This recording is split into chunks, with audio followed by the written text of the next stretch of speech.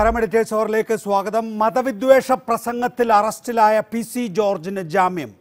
തിരുവനന്തപുരം ഒന്നാം class magistrate കോടതിയാണ് ഉപാധികളോടെ ജാമ്യത്തിൽ വിട്ടത്. സാക്ഷികളെ സ്വാധീനിക്കരുത് എന്നും അന്വേഷണ ഉദ്യോഗസ്ഥൻ ആവശ്യപ്പെട്ടാൽ ഹാജരാകണമെന്നും കോടതി നിർദ്ദേശിച്ചു.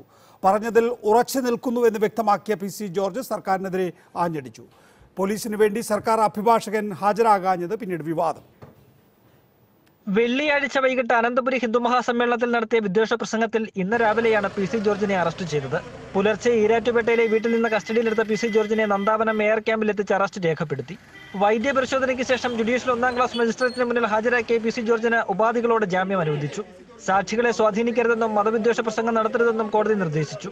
ജാമ്യം കിട്ടി പുറത്തിറങ്ങിയ പി സി ജോർജ് പറഞ്ഞതിൽ ഉറച്ചു നിന്ന് അറസ്റ്റിൽ പിണറായി സർക്കാരിനെതിരെ ആഞ്ഞടിച്ചു. തീവ്രവാദ മുസ്ലിങ്ങൾക്കുള്ള റംസാൻ സമ്മാനമാണ് എന്റെ അറസ്റ്റും ഈ- പ്രകടനം. വലിയ രാഷ്ട്രീയം എന്താ? ഇവിടുത്തെ കോൺഗ്രസും ഇവിടുത്തെ എൽ ഡി എഫും ഒന്നാം. ഒന്നാം നിന്ന് മുന്നോട്ട് നീങ്ങുമ്പോൾ ഞാൻ പറഞ്ഞത് അവർ കൊണ്ടു. ഈ രണ്ടുപേരുടെയും ഭര- ഭരണ പിന്തുണ എന്ന് പറയുന്നത് ഈ മുസ്ലിം തീവ്രവാദികളാണ്. ആ തീവ്രവാദികൾ വോട്ട് രക്ഷപ്പെട്ടുകൊണ്ട് കോൺഗ്രസ് മുന്നണിയും എൽ ഡി എഫും ഒരേ രീതിയിൽ നീങ്ങുകയാണ്. അതിനെതിരായിട്ട് സംസാരിച്ചതുകൊണ്ടാണ് എന്നെ പിടിച്ച് ജയിലിടാൻ നോക്കുന്നത്. പോലീസിന്റെ ശക്തമായ എതിർപ്പ് തള്ളിയാണ് കോടതി ജാമ്യം നൽകിയത്. പ്രതി മുൻ എം എൽ എ ആയതിനാൽ സാക്ഷികളെ സ്വാധീനിക്കാനും കേസിലിടപെടാനും സാധ്യതയുണ്ടെന്നും റിമാൻഡ് ചെയ്യണമെന്നുമായിരുന്നു പോലീസിന്റെ ആവശ്യം. എന്നാൽ നടത്തിയത് പൊതുപ്രസ്താവനയല്ലെന്നും കേസ് രാഷ്ട്രീയ പ്രേരിതമെന്നും പി സി ജോർജിന് വേണ്ടി ഹാജരായ അഭിഭാഷകൻ ശാസ്തമംഗലം അജിത്ത് വാദിച്ചു. ആരോഗ്യ പ്രശ്നങ്ങൾ പരിഗണിക്കണമെന്ന പി സി ജോർജിന്റെ ആവശ്യവും കോടതി കണക്കിലെടുത്തു. അന്വേഷണ ഉദ്യോഗസ്ഥൻ ആവശ്യപ്പെടുമ്പോൾ ഹാജരാകണമെന്ന് കോടതി നിർദ്ദേശിച്ചിട്ടുണ്ട്. അതേസമയം നോട്ടീസ് നൽകിയിട്ടും അസിസ്റ്റന്റ് പബ്ലിക് പ്രോസിക്യൂട്ടർ ഹാജരാകുന്നത് പോലീസിന് തിരിച്ചടിയായി. തുടർന്ന് പോലീസാണ് മജിസ്ട്രേറ്റിന് മുന്നിൽ വാദങ്ങൾ അവതരിപ്പിച്ചത്. മജിസ്ട്രേറ്റിന്റെ വസതിയിലെത്തുന്ന കേസിൽ ഹാജരാകാറില്ലെന്നാണ് പ്രോസിക്യൂഷന്റെ വിശദീകരണം. ജാമ്യം നൽകിയതിനെതിരെ അപ്പീൽ പോകുന്നത് പോലീസ് പരിഗണിക്കുന്നുണ്ടെന്നാണ് സൂചന. അങ്ങനെയെങ്കിൽ ജാമ്യ ഉത്തരവ് ലഭിച്ച ശേഷം തുടർ നടപടി സ്വീകരിക്കും. റിപ്പോർട്ടർ തിരുവനന്തപുരം. ഈ വിഷയത്തിൽ നമ്മോടൊപ്പം ഡോക്ടർ ഫസൽ ഗഫൂർ രാഷ്ട്രീയ നിരീക്ഷകൻ S K Sajeesh C P I M നേതാവ് advocate P V Dinesh supreme കോടതി അഭിഭാഷകൻ Viji Thampi V H P സംസ്ഥാന അധ്യക്ഷൻ. ആദ്യം അഡ്വക്കേറ്റ് പി വി ദിനേശ് ഈ എ പി പി ഹാജരാകാത്തത് ഇപ്പോൾ ഒരു വിവാദമായിട്ടുണ്ടല്ലോ. ഈ നൂറ്റി അൻപത്തി മൂന്ന് എ എന്ന് പറയുന്ന വകുപ്പ് ഇട്ടാൽ കോടതിയിൽ ജാമ്യം കിട്ടാനുള്ള സാധ്യത കോടതിയാണ് തീരുമാനിക്കേണ്ടത്. ഇതിൽ എ പി പി ഇല്ലാതിരുന്നിട്ടും എ പി പി ഉള്ള ഒരു ദിവസത്തേക്ക് ഇത് മാറ്റിവെക്കുകയോ അല്ലെങ്കിൽ എ പി പിയുടെ സമയം നോക്കി പോലീസ് മജിസ്ട്രേറ്റ് കോടതിയിൽ ഹാജരാക്കുകയോ ചെയ്യാത്തതിൽ അപാകത തോന്നുന്നുണ്ടോ? അല്ലാത്ത അതിനകത്തൊരു അപാകതയിലുപരി ഒരു ചെറിയൊരു പെശക് സംഭവിച്ചിട്ടുണ്ട്. കാരണം സാധാരണ അതിൽ ഇത്തരത്തിലുള്ള കേസുകൾ വരുന്ന സമയത്ത് പോലീസ് ഇരുപത്തിനാല് മണിക്കൂർ വരെ കസ്റ്റഡിയിൽ പോലീസിനെ സൂക്ഷിക്കാം. അപ്പോൾ അവർക്ക് ഇന്ന് രാവിലെ അഞ്ചു മണിക്ക് അറസ്റ്റ് റെക്കോർഡ് ചെയ്തിട്ടുള്ളത് പത്ത് മണിയാണെങ്കിൽ നാളെ പത്ത് മണി വരെ അറസ്റ്റ് അദ്ദേഹത്തിന് കസ്റ്റഡിയിൽ ഭരണഘടനാപരമായി തന്നെ പോലീസിന് അദ്ദേഹത്തിനെ കസ്റ്റഡിയിൽ വെക്കാം. പക്ഷേ കോടതിയിൽ ഹാജരാക്കുന്ന സമയത്ത് സാധാരണഗതിയിൽ പോലീസ് എ പി പിയോട് പറയും ഇങ്ങനെ ഇത്ര മണിക്കാണ് ഞങ്ങൾ ഹാജരാക്കുന്നത്. അപ്പോൾ ബെയിൽ അപ്ലിക്കേഷൻ ഉണ്ടെങ്കിൽ ആ കാര്യവും പറയും. അപ്പോൾ ഇവിടെ ഒരു ബെയിൽ അപ്ലിക്കേഷൻ മൂവ് ചെയ്യുന്നുണ്ട്. എ പി പിയുടെ പ്രസൻസ് ആവശ്യമായിരുന്നു. അപ്പോൾ ഇന്ന് ഞാൻ അന്വേഷിച്ച സമയത്ത് ഡ്യൂട്ടി മജിസ്ട്രേറ്റും ആയിരുന്നില്ല. ഒന്ന് രണ്ടാമത് പിന്നെ ഈ എ പി പി ഇന്ന് സൺഡേ ആയതുകൊണ്ട് അവധി ആയതുകൊണ്ട് എ പി പി കിട്ടുകയും ചെയ്തില്ല എന്നുള്ളതാണ് ഞാൻ മനസ്സിലാക്കിയിട്ടുള്ളത്. പക്ഷേ പോലീസ് കുറച്ചുകൂടെ ശ്രദ്ധിച്ചിരുന്നുവെങ്കിൽ എ പി പിയെ കൊണ്ടുവരാമായിരുന്നു.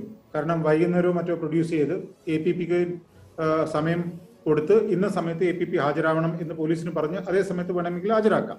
പക്ഷെ അതോടൊപ്പം തന്നെ അതൊരു വശം. അതോടൊപ്പം തന്നെ മജിസ്ട്രേറ്റിന് സാധാരണ ഇത്തരത്തിലുള്ള കേസുകൾ നമുക്കറിയാം ഇന്ത്യയിൽ വൺ ഫിഫ്റ്റി ത്രീ അനുസരിച്ചിട്ട് ഒട്ടനവധി കേസുകൾ രജിസ്റ്റർ ചെയ്തിട്ടുണ്ട്. അപ്പോൾ ഒരാളെ നിർബന്ധിച്ച് ജാമ്യം കൊടുക്കാണ്ട് അകത്തിടണം എന്ന രീതിയിലല്ല നമ്മൾ പറയുന്നത്. കാരണം ബെയിൽ ഈസ് എൻ എക്സെപ്ഷൻ എന്നാണ് പറയുന്നത്. അല്ല jail is an exception bail is a matter of right അതാണ് നമ്മൾ പറയുന്നത്. ബെയിൽ എന്ന് പറയുന്ന ഒരു മനുഷ്യന്റെ അവകാശമാണ് എന്ന രീതിയിലാണ് നമ്മൾ കാണുന്നത് ഈ ക്രിമിനൽ ജൂറിസ്പ്രുഡൻസ് പ്രകാരം. പക്ഷെ അങ്ങനെയാണെങ്കിൽ തന്നെ ഈ മജിസ്ട്രേറ്റിന് എന്ത് ചെയ്യാമായിരുന്നു? നോട്ടീസ് ഇഷ്യൂ ചെയ്യുക ലിമിറ്റഡ് നോട്ടീസ് ഇഷ്യൂ ചെയ്യുക നാളേക്ക് വെക്കുക എ പി പിയുടെ കേൾക്കുക കേട്ടതിന് ശേഷം ഈ കാര്യത്തിൽ ഒരു തീരുമാനം എടുക്കുക എന്നാണ് മജിസ്ട്രേറ്റിന് ചെയ്യാൻ പറ്റുന്ന ഒരു കാര്യം. എ പി പിയുടെ പ്രസൻസ് വേണം എന്ന് പോലീസ് ഉറപ്പു വരുത്തണം എന്നാണോ? അതോ മജിസ്ട്രേറ്റ് പ്രതിയെ റിമാൻഡ് ചെയ്ത് എ പി പി ഉള്ള തൊട്ടടുത്ത ദിവസത്തേക്ക് വെക്കണമെന്നാണോ? ഏതാ ഏതിനാണ് സ്വാഭാവികത വേണ്ടത്? സാധാരണ ഇതിൽ മജിസ്ട്രേറ്റ് നോട്ടീസ് കൊടുത്ത് തൊട്ടടുത്ത ദിവസത്തേക്ക് വെക്കുകയാണ് ചെയ്യാറ്. പക്ഷെ അങ്ങനെ പറയുമ്പോൾ തന്നെ ഈ ഒരാളെ നമുക്ക് എല്ലാവർക്കും ഒരു താല്പര്യം ഉണ്ടാവുമല്ലോ ഒരു കക്ഷിയെ പിടിച്ചാൽ ഇവൻ ഒരു അഞ്ചു ദിവസം കിടക്കട്ടെ അല്ലെങ്കിൽ പത്ത് ദിവസം കിടക്കട്ടെ. ഈ ഇങ്ങനത്തെ ഒരു കാര്യം കുറ്റം ചെയ്തിട്ടുള്ള വ്യക്തിയാണെന്നുള്ളൊരു പൊതു സമൂഹത്തിലൊരു താല്പര്യം ഉണ്ടാവും അതൊരു വശം. പക്ഷെ അതോടൊപ്പം തന്നെ നിയമത്തിന്റെ ഭാഷയിൽ നോക്കുന്ന സമയത്ത് ഒരു നിരപരാധിയെ പോലും അകത്തിടാൻ പാടില്ല എന്നുള്ളതാണ്. അല്ലെങ്കിൽ എത്രയും പെട്ടെന്ന് ഈ പിന്നെ ഒരു കക്ഷിക്ക് ബെയിൽ കൊടുക്കണം. ട്രയൽ നടത്തി അയാൾ കുറ്റക്കാർ കുറ്റാരോപിതനാണ് വ്യക്തി എന്ന് പറയുന്നത്. അപ്പൊ കുറ്റം ആരോപിക്കപ്പെട്ട വ്യക്തിക്ക് കൊടുക്കാൻ പറ്റുമോ ഇല്ലയോ എന്നുള്ള കാര്യങ്ങൾ മാത്രമേ അവർ നോക്കേണ്ട ആവശ്യമുള്ളൂ. പക്ഷെ ഈ കേസിന് ഒരു പ്രത്യേകതയുണ്ട്. ഈ കേസിന് ഒരു പ്രത്യേകത എന്ന് പറയുന്നത് കുറ്റം സമ്മതിച്ചിട്ടുണ്ട് ഇവിടെ. അത് കുറ്റമാണോ ഇല്ലയോ എന്നുള്ള ഒറ്റ ഇഷ്യൂ മാത്രമേ ഇവിടെ മുന്നിൽ ജനങ്ങളുടെ മുന്നിലുള്ളൂ. കാരണം ഒരു സംസാരം നടത്തി സംസാരം നടത്തി ഈ സംസാരം വൺ ഫിഫ്റ്റി ത്രീ എ അല്ലെങ്കിൽ ഇതുപോലുള്ള വകുപ്പുകളുടെ പരിധിക്കകത്ത് വരുന്നതാണോ അല്ലയോ എന്നുള്ള ഒരു ചർച്ച മാത്രമേ ഒരു ആർഗ്യുമെന്റിന് മാത്രമേ ഇനി സ്കോപ്പ് ഉള്ളൂ. അല്ലാതെ സാക്ഷി വിസ്താരം ഓഫ് കോഴ്സ് സാക്ഷികളെ വിസ്താരിക്കണം ഒരു ചെറിയ എക്സ്റ്റെന്റിൽ കാരണം ആ വീഡിയോ പ്രൊഡ്യൂസ് ചെയ്യുന്ന സമയത്ത് ഇന്ന റെക്കോർഡ് ചെയ്തു ഇന്ന ആളാണ് അത് റെക്കോർഡ് ചെയ്തു എന്ന രീതിയിൽ അതിന്റെ സാധുത പരിശോധിക്കാൻ വേണ്ടിയുള്ള വളരെ ലിമിറ്റഡ് ആയിട്ടുള്ള കുറച്ച് സാക്ഷികൾ മാത്രമേ ഇതിനകത്ത് വരുന്നുള്ളൂ. കാരണം പ്രതി തന്നെ പറഞ്ഞു ഇത് ഞാൻ നടത്തിയ സംസാരമാണ് എന്ന രീതിയിൽ പ്രതി തന്നെ സംസാരിക്കുന്ന സമയത്ത് അവിടെ വലിയ സ്കോപ്പ് ഒന്നുമില്ല. പിന്നെ അതൊരു ഇന്റൻഷൻ വെച്ച് പറഞ്ഞതാണോ? അല്ല അങ്ങ് പറഞ്ഞു പോയതാണോ? എന്ന രീതിയിലുള്ള കാര്യങ്ങളൊക്കെ വിശദീകരിക്കേണ്ടത് മിസ്റ്റർ പി സി ജോർജ് ആണ് ശ്രമിക്കരുത് എന്ന് ഉപാധികളോടുകൂടിയാണ് പി സി ജോർജിന് ജാമ്യം നൽകിയിട്ടുള്ളത്.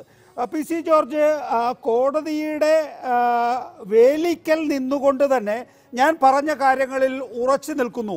നടത്തിയിട്ടുള്ള വിദ്വേഷ പ്രസംഗത്തിൽ ഉറച്ചു നിൽക്കുന്നു എന്ന് പറയേണ്ടത് അദ്ദേഹത്തിന് എനിക്ക് തോന്നുന്നത് വിദ്വേഷം ഇല്ലാതിരിക്കുന്നത് ഇപ്പോൾ എം എ യൂസഫ് അലിയുടെ പണത്തോട് മാത്രമാണ് എന്ന് വേണം കരുതാൻ. അപ്പോൾ ആ ജാമ്യ വ്യവസ്ഥകൾ മിനിറ്റുകൾക്കുള്ളിൽ പി സി ജോർജ് ലംഘിച്ചു എന്നൊരു കേസിന് സാധ്യതയുണ്ടോ? അതും ഒരു വേറൊരു ഇതിനകത്ത് വരാൻ പോകുന്ന ഞാൻ ഇന്ന് മനസ്സിലാക്കിയിട്ടുള്ളത് ഒരു കേസ് കൂടി പി സി ജോർജിനെതിരെ ഇന്ന് കേസ് കൊടുത്തിട്ടുണ്ട്. കാരണം ഇന്നും P C George same offence repeat ചെയ്തിട്ടുണ്ട്. കാരണം നേരത്തെ നികേഷ് സൂചിപ്പിച്ചതുപോലെ ശ്രീ യൂസഫ് അലിയുടെ കേസിന്റെ കാര്യം ഒഴിച്ചു നിർത്തിയാൽ പി സി ജോർജ് പറഞ്ഞു ഞാൻ വീണ്ടും ആവർത്തിക്കുകയാണെന്ന് പറഞ്ഞു. ഇപ്പം റീപ്രൊഡക്റ്റീവ് കപ്പാസിറ്റി ഇല്ലാത്ത മരുന്ന് കൊടുക്കുന്നു. എന്ന് പറഞ്ഞ കാര്യം ഞാൻ വീണ്ടും വീണ്ടും പ്രസ്താവിക്കുകയാണെന്ന് അദ്ദേഹം റീട്രേറ്റ് ചെയ്ത് പറഞ്ഞു. അപ്പൊ ഇതൊരു സെക്കൻഡ് ഒഫൻസ് ആണ്. ഇന്നും അയാൾ ഒഫൻസ് കമ്മിറ്റ് ചെയ്തു. ഇന്നും അദ്ദേഹം വിദ്വേഷ പ്രസംഗം അയാൾ നടത്തി. എന്നിട്ട് അതിൽ പറഞ്ഞിട്ടുള്ള ഒരു കാര്യം എന്ന് പറയുന്നത് യൂസഫ് അലിയുടെ കാര്യം വന്ന സമയത്ത് ഞാൻ മനസ്സിൽ ആലോചിച്ച കാര്യമല്ല പറഞ്ഞു പോയത്. അതാണ് അയാൾ പറഞ്ഞത്. അപ്പൊ അത് ശ്രദ്ധിക്കണം. അപ്പൊ ഇദ്ദേഹം ഈ പറയുന്ന കാര്യങ്ങൾ മുഴുവൻ തന്നെ മനസ്സിൽ ആലോചിച്ച് വെച്ച് ഇന്നതൊക്കെ കയ്യടി നേടാൻ അല്ലെങ്കിൽ രാഷ്ട്രീയ ലക്ഷ്യം സാധ്യമാവാൻ വേണ്ടി ഇന്നതൊക്കെ കാര്യങ്ങൾ പറയണമെന്ന് തീരുമാനിക്കുകയും യൂസഫ് അലിയുടെ കാര്യത്തിൽ ചെറിയൊരു ബുദ്ധിമോശം സംഭവിച്ചു എന്ന രീതിയിലാണ് K C P C George പറഞ്ഞിട്ടുള്ളത്. അപ്പൊ ഇത് കാൽക്കുലേറ്റഡ് ആയി. വളരെ വ്യക്തമായി പ്ലാൻ ചെയ്ത് പറഞ്ഞ ഒരു സംഭാഷണമാണ്. അപ്പൊ അത്തരത്തിലൊരു സന്ദർഭത്തിൽ ഇദ്ദേഹം കുറ്റം ചെയ്തിട്ടില്ല എന്ന് നമുക്ക് പറയാൻ പറ്റില്ല. മറ്റിപ്പോ ഉദാഹരണത്തിന് പാതിരാത്രിക്ക് മോഷണം നടത്തി അത് ആരാണ് നടത്തിയത്? പോലീസ് ഇൻവെസ്റ്റിഗേഷൻ വേണം നൂറുകണക്കിന് സാക്ഷികളെ വിസ്തരിക്കണം. ഈ കാര്യങ്ങളൊന്നും തന്നെ ഇവിടെ വരുന്നില്ല. ഇവിടെ വളരെ സിമ്പിൾ ആയിട്ടുള്ള കാര്യമാണ്. ഒരു മനുഷ്യനൊരു കാര്യം പറയുന്നു അയാൾ പറഞ്ഞു ഇത് ഞാൻ തന്നെ പറഞ്ഞതാണെന്ന് പറയുന്നു. ഇലക്ട്രോണിക് റെക്കോർഡ്സ് ഉണ്ട്. കോടതിയുടെ മുമ്പിൽ ഇത് വൺ ഫിഫ്റ്റി ത്രീ എയും അനുബന്ധ വകുപ്പുകളുടെ അകത്ത് വരുന്ന ശിക്ഷയാണോ അല്ലയോ എന്നുള്ള ഒറ്റ കാര്യം മാത്രമേ പി വി പ്രാഥമികമായ ഒറ്റ കാര്യം കൂടി. വൺ ഫിഫ്റ്റി ത്രീ എയിൽ അതിന്റെ റേഷ്യോ എത്രത്തോളമാണ്? ജാമ്യം നൽകുന്നത് എത്ര? ജാമ്യം നൽകാത്തത് എത്ര? അതെങ്ങനെയാണ് കോടതി വ്യവച്ഛേദിച്ച് തീരുമാനിക്കുക? ഇതിപ്പോൾ ഇതിപ്പോ എ പി പി ഉണ്ട് ഇല്ല എന്നുള്ളത് എത്ര കണ്ട് പ്രസക്തമാണ്? ഇദ്ദേഹം പറഞ്ഞ കാര്യങ്ങൾ കോടതിയുടെ മുമ്പിലുണ്ട്. പോലീസാണെങ്കിലും ജാമ്യം നൽകരുത് എന്ന് ആവർത്തിച്ച് പറഞ്ഞിട്ടുണ്ട്. ഈ കുറ്റം ആവർത്തിക്കും എന്ന് വ്യക്തമാക്കിയിട്ടുണ്ട്. പിന്നെ ഇവിടെ വാദത്തിനൊക്കെ എന്ത് പ്രസക്തിയാണ് ഉള്ളത്? Advocate P V Dinesh. പിന്നെ എന്തുകൊണ്ടായിരിക്കാം കോടതി അദ്ദേഹത്തിന് ജാമ്യം നൽകിയിട്ടുള്ളത്? ഈ വൺ ഫിഫ്റ്റി ത്രീ എ ജാമ്യമില്ലാത്ത കുറ്റം പോലീസ് സ്റ്റേഷനിൽ ജാമ്യം നൽകില്ല എന്ന് മാത്രമേ ഉള്ളൂ. കോടതിയിൽ ജാമ്യം നൽകാമെങ്കിൽ പി സി ജോർജിന് സ്വാഭാവികമായി കിട്ടിയതാണോ? പി സി ജോർജിന് സ്വാഭാവികമായി കിട്ടിയതാണ് എങ്കിൽ എന്തുകൊണ്ടാണ് ഹരിദ്വാറിൽ കിട്ടാതിരുന്നത്? അത് അത് തന്നെയാണ്. ഇപ്പൊ എനിക്ക് മനസ്സിലാവാത്തത് വളരെ പ്രഥമ ദൃഷ്ടിയ പി സി ജോർജിന് കുറ്റം ചെയ്തിരിക്കും അത് എന്തുകൊണ്ട് കോടതിക്ക് മനസ്സിലായിട്ടില്ല എന്നുള്ളൊരു വലിയൊരു വിഷയം ഇവിടെ ഉണ്ട് കാരണം സാധാരണ ഒരു ഒരു പ്രത്യക്ഷ വായനയിൽ തന്നെ വൺ ഫിഫ്റ്റി ത്രീ എയും പി സി ജോർജ് പറഞ്ഞ വാചകങ്ങളും പരിശോധിച്ചു നോക്കുകയാണെങ്കിൽ കൃത്യമായും കുറ്റം ചെയ്തിട്ടുള്ള ഒരു വ്യക്തിയാണ് പി സി ജോർജ്. അപ്പം കുറ്റം ചെയ്തിട്ടുള്ള ഒരു വ്യക്തിയെ കുറ്റവാളി കുറ്റ ആരോപിതന് മാത്രമേ എന്തുള്ളൂ? ജാമ്യമുള്ളൂ. കുറ്റം ചെയ്ത വ്യക്തി എന്ന് പറഞ്ഞാൽ പിന്നെ ജാമ്യത്തിന് വലിയ പ്രസക്തിയൊന്നുമില്ല. അപ്പം ഇത് കുറ്റമാണോ അല്ലയോ എന്നുള്ള കാര്യം ഓഫ് കോഴ്സ് ഇനി ഈ കാര്യം കഴിഞ്ഞു കിട്ടി. ഇനി നമ്മൾ ശ്രദ്ധ കേന്ദ്രീകരിക്കേണ്ടത്. കാരണം ഈ നൈമിഷികമായിട്ടുള്ള കാര്യങ്ങൾക്ക് അപ്പുറത്ത് അല്ലെങ്കിൽ ജാമ്യം കിട്ടിയോ അല്ലയോ എന്ന കാര്യത്തിന് അപ്പുറത്ത് ഒരു പതിനഞ്ച് ദിവസത്തിനകത്തോ അല്ലെങ്കിൽ ഇരുപത് ദിവസത്തിനകത്തോ കേരള പോലീസിന് ഇതിൽ ചാർജ് ഷീറ്റ് ഫയൽ ചെയ്ത് ഈ കേസ് ഒരു മാസമോ അല്ലെങ്കിൽ പത്ത് നാൽപ്പത്തഞ്ച് ദിവസത്തിനകത്ത് ഈ കേസ് ലോജിക്കൽ കൺക്ലൂഷനിലേക്ക് എത്തിക്കാൻ പറ്റുമോ എന്നുള്ളതായിരിക്കും കേരള പോലീസിന്റെ മുമ്പിലുള്ള ചെയ്യേണ്ട ഏറ്റവും വലിയ കാര്യം. അല്ലാതെ ജനങ്ങൾ മറന്ന് രണ്ടു വർഷവും അഞ്ചു വർഷവും കഴിഞ്ഞ് പി സി ജോർജിന്റെ കേസ് എടുക്കുന്ന സമയത്ത് ഒരുപക്ഷെ K C George B J പിയുടെ വല്ല ഗവർണറായി ആസാമിലോ അല്ലെങ്കിൽ വേറെ ഏതെങ്കിലും സ്ഥലത്ത് കിടക്കുന്നുണ്ടാവും. അല്ലെങ്കിൽ മറ്റും മറ്റുമായിട്ട് വേറെ ഏതെങ്കിലും രീതിയിലുള്ള അവതാരമായി നിലക്കുന്നുണ്ടാവും.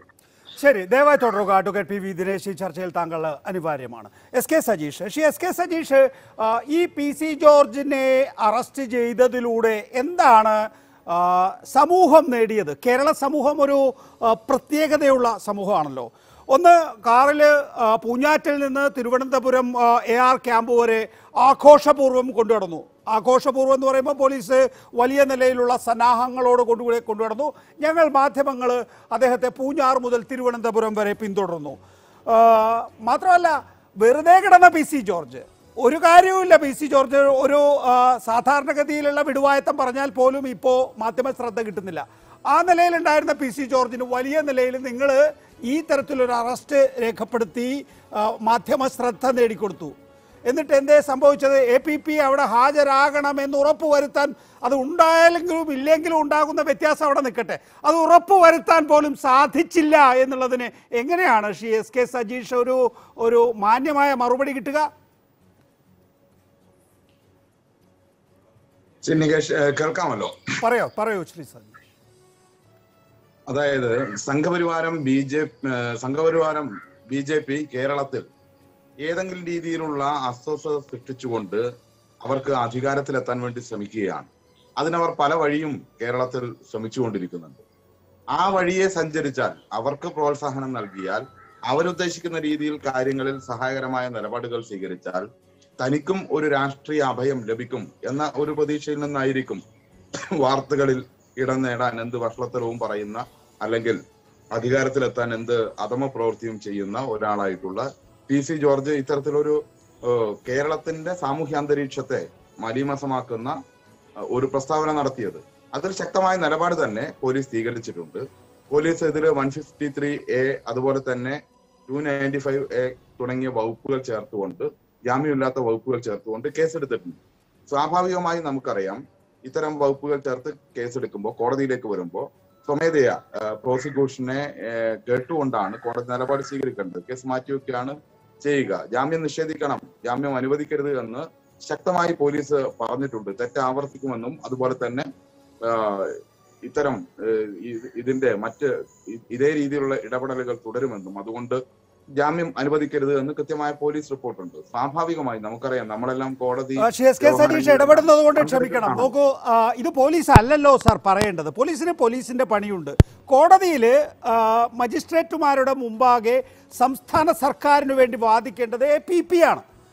എ പി പി അവിടെ ഉണ്ടായില്ല. അതിന്റെ ന്യായം എന്താണ്? അതിന്റെ മറുപടി എന്താണ്?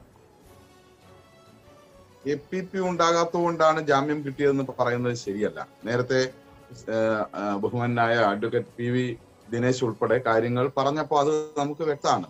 അദ്ദേഹം രണ്ട് കാര്യങ്ങളും പറഞ്ഞു. എങ്കിലും സാധാരണഗതിയിൽ ഇത്തരം കേസുകൾ പ്രത്യേകിച്ച് ഒരു അവധി ദിവസമായി വീണ്ടും എന്നോട് ക്ഷമിക്കണം C S K Satheesh. A P P ഇല്ലാത്തത് കൊണ്ടാണ് അദ്ദേഹത്തിന് ജാമ്യം കിട്ടിയതാണെന്ന് കിട്ടിയത് എന്ന് ഞാനോ അഡ്വക്കേറ്റ് പി വി ദിനേശോ പറഞ്ഞിട്ടില്ല. വേണ്ട എന്നെ വിടൂ. പി വി ദിനേശാണല്ലോ നിയമ വിദഗ്ധൻ പി വി ദിനേശ് പറഞ്ഞിട്ടില്ല. പക്ഷെ നടപടിക്രമം പാലിക്കാത്തത് എന്താണ്? നടപടിക്രമം അല്ലത്. നടപടിക്രമം പാലിക്കാത്തതുകൊണ്ടല്ല. സാധാരണഗതിയിൽ ഇങ്ങനെ തന്നെയാണ്. ഇത്തരം ഒരു കേസ് ഉണ്ടാകുമ്പോൾ സ്വാഭാവികം പോലീസ് അറസ്റ്റ് ചെയ്താൽ കോടതിയിൽ മജിസ്ട്രേറ്റിന്റെ മുന്നിൽ ഹാജരാക്കും. കോടതി അവധിയാണല്ലോ. മജിസ്ട്രേറ്റിന്റെ മുന്നിൽ ഹാജരാക്കും. എ പി പി സ്വാഭാവികമായും ലീവാണ്. അതുകൊണ്ട് മജിസ്ട്രേറ്റിന് മുന്നിൽ ഹാജരാക്കും. കേസിന്റെ ഗൗരവവും ചേർക്കുന്ന വകുപ്പിന്റെ ഗൗരവവും എല്ലാം പരിശോധിച്ചുകൊണ്ട് പോലീസ് റിപ്പോർട്ടിന്റെ അടിസ്ഥാനത്തിലാണ് കോടതി ഇത്തരം കാര്യങ്ങൾ തീരുമാനമെടുക്കുന്നത്. അതിൽ പോലീസ് പറഞ്ഞ കാര്യങ്ങൾ ശരിയാണെന്ന് ഇപ്പോൾ ബോധ്യാവുകയും ചെയ്തിട്ടുണ്ട്. അതിന്റെ ഭാഗമായിട്ട് അദ്ദേഹം ഈ പറഞ്ഞ കാര്യങ്ങൾ വിദ്വേഷം സമൂഹത്തിൽ ജനിപ്പിക്കുന്ന രീതിയിലുള്ള കാര്യങ്ങൾ ഞാൻ ഉറച്ചു നിൽക്കുന്നു എന്നും അത് തുടർന്ന് ഒന്നുകൂടി ആവർത്തിച്ച് സംസാരിക്കുകയും ചെയ്യുന്ന സാഹചര്യം ഉണ്ടായിട്ടുണ്ട്. അതുകൊണ്ട് സ്വാഭാവികമായും അതിന്റെ മേൽ നടപടികളുമായിട്ട് മുന്നോട്ട് പോകും. ജാമ്യം തുടരുക. സി എസ് കെ സജീഷ് അതേക്കുറിച്ചുള്ള താങ്കളുടെ മറുപടി ഞാൻ മനസ്സിലാക്കുന്നു. ദയവായി തുടരുക. ഞാൻ മടങ്ങിയെത്താം. വിജി തമ്പി നമ്മോടൊപ്പം ഉണ്ട് ശ്രീ വിജി തമ്പി പി സി ജോർജിന്റെ ഈ സ്റ്റേറ്റ്മെന്റ്സ് ഞാൻ ഒരിക്കൽ കൂടി ആവർത്തിക്കുന്നില്ല അറപ്പാകും ആവർത്തിക്കാൻ. ഒന്ന് നമ്മൾ ഈ പാലക്കാടും ആലപ്പുഴയിലും കണ്ടിട്ടുള്ളതാണ്. ആദ്യം ഒരു എസ് ഡി പി ഐക്കാരനെ കൊല്ലുക അത് കഴിയുമ്പോഴേക്കും ഒരു അതേ ശ്രേണിയിലുള്ള ആർ എസ് എസ്സുകാരനെ കൊല്ലുക എന്നുള്ളത്. ഒരു ക്രിസംഖി പാർട്ടി ഉണ്ടാകാൻ പോകുന്നു. എനിക്ക് തോന്നുന്നു കഴിഞ്ഞ ദിവസം മലയാള മനോരമയിലോ മാതൃഭൂമിയിലോ വാർത്ത വന്നിരുന്നു. എന്നോട് നേരത്തെ പി സി ജോർജ് പറഞ്ഞിട്ടുള്ളതുമാണ്. ഒരു ഹാർഡ് കോർ ക്രിസ്ത്യൻ പാർട്ടിയുടെ സാധ്യത ഈ ഒരു ക്രിസംഖി കാലഘട്ടത്തിലുണ്ട് അത് ഉണ്ടാക്കാൻ പോവുകയാണ് എന്ന്. ശ്രീ വിജി തമ്പി ഇത് ഈ സംഘപരിവാറിന്റെ ലക്ഷ്യമാണോ? അതായത് നേരിട്ട് മുസ്ലിങ്ങളെ പറയാൻ കഴിയാതിരിക്കുന്ന ഘട്ടത്തിൽ ക്രിസ്ത്യാനികളെ കൊണ്ട് പറയിപ്പിക്കുക സംഘർഷഭരിതമായ ഒരു അന്തരീക്ഷം ഉണ്ടാക്കുക ഒരു ജാതി മതവിഭജനം കേരളത്തിൽ സാധ്യമാക്കുക എന്നത്. നികേഷ് ഈ ഒരു ചോദ്യം എന്നോട് ചോദിച്ചതിന്റെ ഉദ്ദേശ്യം എനിക്ക് മനസ്സിലായില്ല. ഒന്നാമത് ഞാൻ സംഘപരിവാർ പ്രസ്ഥാനത്തിൽ പെടുന്ന ഒരാളല്ല. ഞാൻ വിശ്വ ഹിന്ദു പരിഷത്തിന്റെ സംസ്ഥാന അധ്യക്ഷനാണ്. ഒരു ഹിന്ദു മഹാസമ്മേളനത്തിലാണ് ശ്രീ പി സി ജോർജ് ഹിന്ദുക്കളെ അഭിസംബോധന ചെയ്താണ് നിങ്ങൾ ജാഗ്രത പാലിക്കണമെന്നും ഇല്ലെങ്കിൽ നിങ്ങൾക്ക് ഉണ്ടാകാൻ പോകുന്ന ദോഷങ്ങൾ എന്തൊക്കെയാണെന്നും അദ്ദേഹം പ്രസ്താവിച്ചു. ആ ഹിന്ദുക്കൾ മാത്രം ഉൾപ്പെടുന്ന ഒരു സമ്മേളനത്തിലാണ്. അവിടെ അദ്ദേഹം ഹിന്ദുക്കൾക്ക് നൽകുന്ന ഒരു ഉപദേശം എന്ന നിലയിലാണ് പറഞ്ഞത്. അദ്ദേഹം പറഞ്ഞത് പലതും സത്യങ്ങളാണ്. ഏതാ സത്യമല്ലാത്തത്? ഈ ലവ് ജിഹാദ് സത്യമല്ലേ? ഇവിടെ ഈ പറഞ്ഞ ഈ ഹലാൽ സത്യമല്ലേ? അവിടെ ഓരോ കാര്യങ്ങളും അദ്ദേഹം സത്യമല്ലേ? ഈ ക്ഷേത്രങ്ങൾ ഒരു ഒരു മതേതര സർക്കാർ ക്ഷേത്രം ഭരിക്കുന്നു. നിങ്ങൾ അത് സമ്മതിക്കുന്നതെന്നുള്ള സത്യമല്ലേ? ക്ഷേത്ര ഭൂമികൾ പട്ടയം നൽകി വിതരണം ചെയ്യാൻ പോകുന്നത് സത്യമല്ലേ? ക്ഷേത്രത്തിലെ കാണിക്ക ഇതൊക്കെ ശരിയാണോ തെറ്റാണോ എന്നതിനപ്പുറത്തേക്ക് പി സി ജോർജ് പറഞ്ഞത് ആ കാര്യങ്ങളല്ല. പി സി ജോർജ് പറഞ്ഞത് കച്ചവടം ചെയ്യുന്ന മുസ്ലിങ്ങൾ പാനീയങ്ങളിൽ വന്ധ്യത പരുത്താനുള്ള മരുന്ന് ബോധപൂർവം കലർത്തുന്നു. മുസ്ലിങ്ങൾ ജനസംഖ്യ വർദ്ധിപ്പിച്ച് മുസ്ലിം രാജ്യമാക്കി മാറ്റാൻ ശ്രമിക്കുന്നു. മുസ്ലിം പുരോഹിതർ ഭക്ഷണത്തിൽ മൂന്ന് പ്രാവശ്യം തുപ്പിയ ശേഷം വിതരണം ചെയ്യുന്നു. മുസ്ലിം കച്ചവടക്കാർ അവരുടെ സ്ഥാപനങ്ങൾ അമുസ്ലിം മേഖലകളിൽ സ്ഥാപിച്ച് അവരുടെ സമ്പത്ത് കവരുന്നു. ഇതൊക്കെ ശരിയാണോ?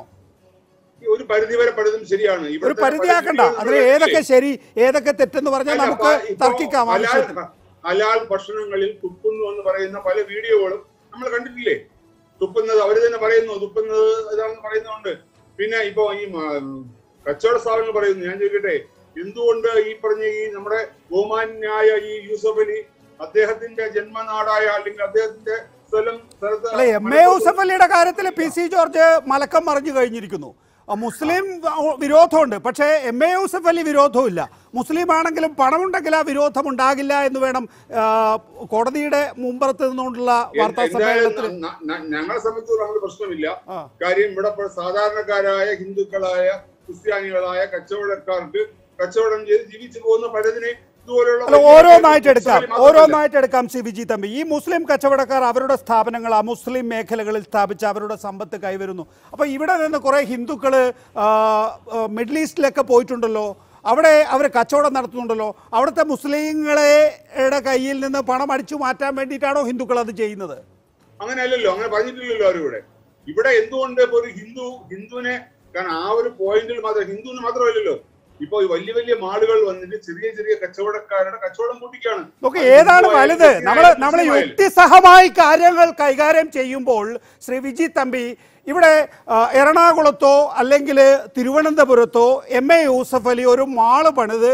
അത് കൂടുതൽ ഹിന്ദുക്കൾ വസിക്കുന്ന ഇടമായതുകൊണ്ട് അവിടെ പണിയുന്നു എന്നാണ് താങ്കളുടെ അവകാശവാദം. അല്ലെങ്കിൽ ഈ പി സി ജോർജുമാരുടെ അവകാശവാദം.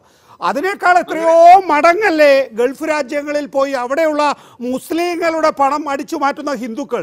അങ്ങനെയാണെങ്കിൽ നമ്മൾ ഈ പറയുന്ന മുസ്ലിങ്ങളെക്കാൾ കൂടുതൽ ഗൗരവത്തോടു കൂടി ഉയർന്ന തലത്തിൽ മുസ്ലിങ്ങളുടെ പണം അടിച്ചു മാറ്റാൻ ഇവിടുത്തെ ഹിന്ദുക്കൾ ശ്രമിക്കുന്നുണ്ടാകണം. അങ്ങനെ ഒരിക്കലും പറ്റില്ലല്ലോ. അവിടെ പോയി ജോലി ചെയ്ത് ജോലിയല്ല കച്ചവടക്കാരായിട്ടുള്ള എത്ര പേരുണ്ട് അവിടെ? എവിടെ? ഗൾഫിൽ. പൈസ മോഷ്ടിക്കല്ല അവിടെ പോയി കച്ചവടം ചെയ്ത് അവിടെ പോയി കച്ചവടം ചെയ്ത് പാവങ്ങളായിട്ടുള്ള അറബികളുടെ പണം അടിച്ചു മാറ്റുന്നവരാണോ ഹിന്ദുക്കൾ? ഇവിടുത്തെ പോലെ അവിടെ പെരുമാറിയാൽ തല കാണില്ല. ഇവിടെ എന്താ പെരുമാറുന്നത് സാർ? പറയൂ. ഇവിടെ എന്താ സാർ പെരുമാറുന്നത്? മുസ്ലിങ്ങൾ എന്താണ് ഇവിടെ പെരുമാറുന്നത്? നിങ്ങൾ പറഞ്ഞു തരൂ. നിങ്ങൾ ഈ വിദ്വേഷം പറഞ്ഞത്. ഇവിടെ എന്തിനാ ഈ സർക്കാർ ഒരു പ്രത്യേക മതത്തിന് മാത്രം പ്രീണനം നൽകുന്നത്? ഒരു കാര്യം പറയുമ്പോ വേറൊരു കാര്യത്തിലേക്ക് പോകല്ലേ? മുസ്ലിങ്ങളുടെ. മുസ്ലിം കച്ചവടക്കാർ ഇവിടെ എന്ത് തെറ്റാണ് ചെയ്യുന്നത്? ഇവിടെ ഹിന്ദുക്കളുടെ പണം അടിച്ചു മാറ്റാൻ ശ്രമിക്കുന്നു എന്ന് നിങ്ങൾ വർഗീയ വിഷം ചീറ്റുമ്പോ അത് ന്യായമായി പറഞ്ഞു ഫലിപ്പിക്കാനെങ്കിലും കഴിയണ്ടേ ഞാൻ വർഗീയ വിഷം പറഞ്ഞിട്ടില്ല. ഞാൻ അങ്ങനെ ഒരു ആരെയും കുറ്റം പറയുന്ന ആളല്ല അതുകൊണ്ടാണ് ഞാൻ പറഞ്ഞത് ഈ ചർച്ചയിൽ എന്നോട് ചോദ്യം ചോദിച്ചു എന്തിനാണെന്ന് അല്ല വിശ്വ ഹിന്ദു പരിഷത്ത് സംഘപരിവാറിന്റെ ഭാഗമല്ല വിശ്വ ഹിന്ദു പരിഷത്ത് എന്ന് വേണമെങ്കിൽ നമുക്ക് സംഘപരിവാറിന്റെ ഭാഗമാണ്. പക്ഷേ അതെ സംഘപരിവാറിന്റെ ഭാഗമായിട്ട് ഒരുപാട് സംഘടനകളില്ലേ? ആ ഉണ്ട്.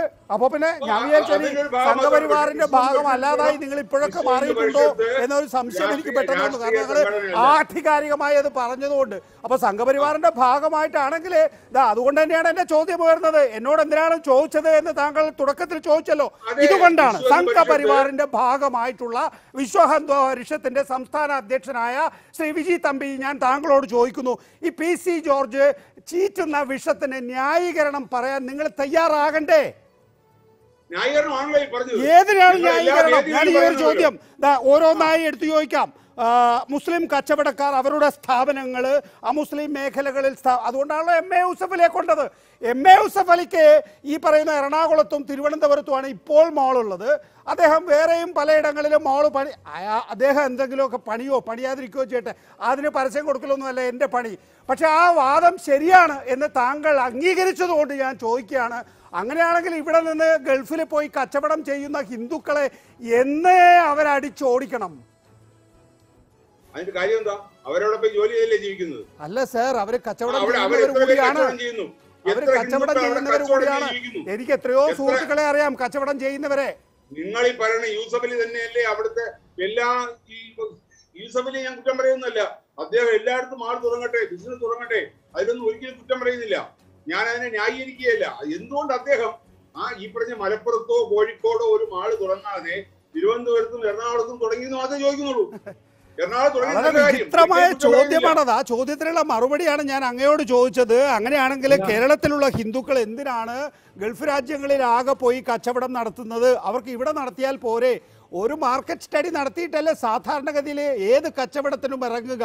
മാത്രമല്ല യൂസഫ് അലി ഇവിടെ കേരളത്തിലെ ഈ കച്ചവടത്തിന് ഇറങ്ങിയപ്പോൾ അവിടെ എത്ര ഹിന്ദുക്കൾ ജോലി ചെയ്യുന്നുണ്ട്? എത്ര എത്ര ക്രിസ്ത്യാനികൾ ജോലി ചെയ്യുന്നുണ്ട്? എത്ര അമുസ്ലിങ്ങൾ ജോലി ചെയ്യുന്നുണ്ട്? തുടങ്ങിയ കാര്യങ്ങളൊക്കെ അന്വേഷിച്ചിട്ട് വേണ്ട ഇമാതിരി വർഗീയ വിഷം ചീറ്റാൻ സർ?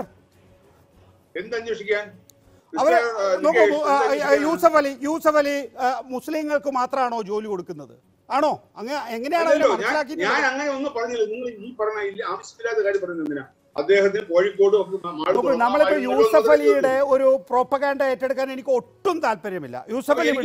നോക്കൂ അല്ല ഈ താങ്കൾക്ക് മറുപടി ഇല്ല എന്നുള്ളത് കൊണ്ട് താല്പര്യമില്ല എന്നാണ് മറുപടി ഇല്ല എന്നുള്ള പറഞ്ഞത് അദ്ദേഹം പറഞ്ഞത് എന്താ? അദ്ദേഹത്തിന്റെ അഭിപ്രായമാണ്. എന്റെ അഭിപ്രായം ഞാനൊന്നും പറഞ്ഞിട്ടില്ലല്ലോ. ഇനി രണ്ടാമത്തെ രണ്ടാമത്തെ രണ്ടാമത്തെ കാര്യം എന്തോ ഒരു പാനീയത്തിൽ വന്ധ്യത കലർത്താനുള്ള മരുന്ന് ബോധപൂർവം ചേർക്കുന്നു എന്ന് പറയുന്നു. ശരിയാണോ അത്? അത് അദ്ദേഹത്തോട് തന്നെ ചോദിക്കണം. അദ്ദേഹമാണ് പറഞ്ഞത്. ഞങ്ങളാരും പറഞ്ഞിട്ടില്ല. അതെ കഴിഞ്ഞു. പിന്നെ മുസ്ലിങ്ങൾ ജനസംഖ്യ വർദ്ധിപ്പിച്ച് മുസ്ലിം രാജ്യമാക്കി മാറ്റാൻ ശ്രമിക്കുന്നു എന്ന്. നടക്കുന്ന കാര്യമാണോ അത്?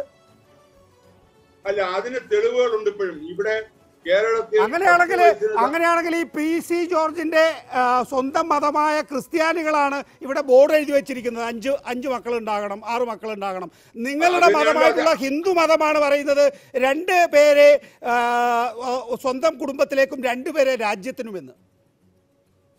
അത് തന്നെയാണല്ലോ അദ്ദേഹം അവിടെ പറഞ്ഞത്. ആ പ്രസംഗത്തിൽ തന്നെ അദ്ദേഹം പറഞ്ഞല്ലോ നിങ്ങൾ ഓരോ കല്യാണത്തിന് പോകുമ്പോൾ ഞാൻ പറയും നിങ്ങൾ നാല് കുഞ്ഞുങ്ങളെ ഉണ്ടാക്കാൻ. അദ്ദേഹത്തിന്റെ അഭിപ്രായമല്ലേ? അത് അദ്ദേഹത്തിന്റെ അഭിപ്രായമായിട്ട് അദ്ദേഹം പറഞ്ഞില്ലേ അത് അത് അത് ഒരു വ്യക്തിയുടെ അഭിപ്രായ സ്വാതന്ത്ര്യമല്ലേ അത്? ആ അത് ഒരാൾക്ക് നാല് മക്കളുണ്ടാവും അഞ്ച് മക്കളുണ്ടാവും എന്നുള്ളത് അവരുടെ ഇഷ്ടമല്ലേ? ഇവിടെ രണ്ട് മക്കളിൽ കൂടുതൽ പാടില്ല എന്ന് ഇവിടെ നിയമമുണ്ടോ? ഇന്ത്യയിൽ അങ്ങനെ ഒരു നിയമം ബാധകമാണോ? അങ്ങനെ ഒരു നിയമം ഉണ്ടാകുമ്പോ ശരി. ഈ ചൈനയിലെ പോലെയോ മറ്റു രാജ്യങ്ങളിലെ പോലെയോ അങ്ങനെ ഒരു നിയമം ഉണ്ടാകുമ്പോൾ അപ്പോൾ ആ നിയമം ലംഘിച്ചെന്ന് പറയാം. ഇപ്പൊ അങ്ങനെ നിയമം ഇല്ലല്ലോ. ദയവായി തുടരുക സാർ. ഞാൻ താങ്കളിലേക്ക് മടങ്ങിയെത്താം. താങ്കൾ ഈ ചർച്ചയിൽ ഒരു അനിവാര്യമായ ഘടകമാണ്. അങ്ങനെ പോകല്ലേ പ്ലീസ്. ഡോക്ടർ ഫസൽ ഗഫൂർ ഈ പാലക്കാടും ആലപ്പുഴയിലും ഉണ്ടാകുന്ന സംഘർഷങ്ങൾ താങ്കൾ കണ്ടിട്ടുണ്ടല്ലോ. എസ് ഡി പി ഐക്കാരനെ കൊല്ലുക അത് കഴിയുമ്പോൾ ഒരു ആർ എസ് എസ്സുകാരനെ കൊല്ലുക. ഒരു ക്രിസ്ത്യാനികളിൽ കുറച്ചുകൂടി തീവ്ര വികാരമുള്ളവരുടെ ഒരു പാർട്ടി അടുത്ത കാലത്തിനുള്ളിൽ സംജാതമാകും. ആ പാർട്ടി അടുത്ത ലോക്സഭാ തെരഞ്ഞെടുപ്പിൽ നിർണായകമായ പങ്കുവഹിക്കും നമുക്കറിയാം ഇപ്പോൾ ആർ എസ് എസ് ഒരു യാഥാർത്ഥ്യമായിരുന്നു നമ്മുടെ നാട്ടിൽ പ്രത്യേകിച്ച് കേരളത്തിലാണ് ആർ എസ് എസ് ആദ്യം കൃത്യമായി വേര് പിടിച്ചത് മലബാർ മേഖലയിൽ. പിന്നീട് പക്ഷെ വളരാനായില്ല എന്നുള്ളത് സത്യമാണ്.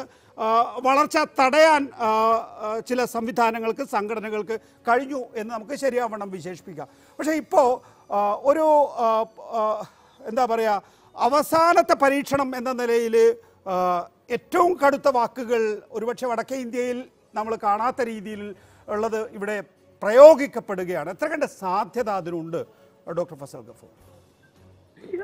അതിനൊക്കെ സാധ്യത വളരെ കുറവാണ് എന്താ കാര്യം ഞാൻ പറഞ്ഞുതരാം. ക്രൈസ്തവ സമുദായം എന്ന് പറഞ്ഞാൽ വളരെ ബുദ്ധിപൂർവമായി ബുദ്ധിപൂർവം പ്രശ്നങ്ങളിൽ ഇടപെടുന്ന ഒരു സമൂഹമാണ്.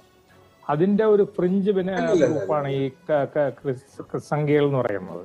ഈ കേരളത്തിലെ രാഷ്ട്രീയത്തിൽ വലിയ പങ്ക് വഹിച്ചിട്ടുണ്ട്. ഇവർക്ക് ഇവർ ദളിതുകളുടെ മാതിരി പാർശ്വവൽക്കരിക്കപ്പെട്ട ഒരു സമൂഹമൊന്നുമല്ല. ഇവരൊരു കാലഘട്ടത്തിൽ കേരള കോൺഗ്രസുകളിലൂടെ യു ഡി എഫിൽ നിയന്ത്രിച്ചിരുന്നത് ഇവരാണ്.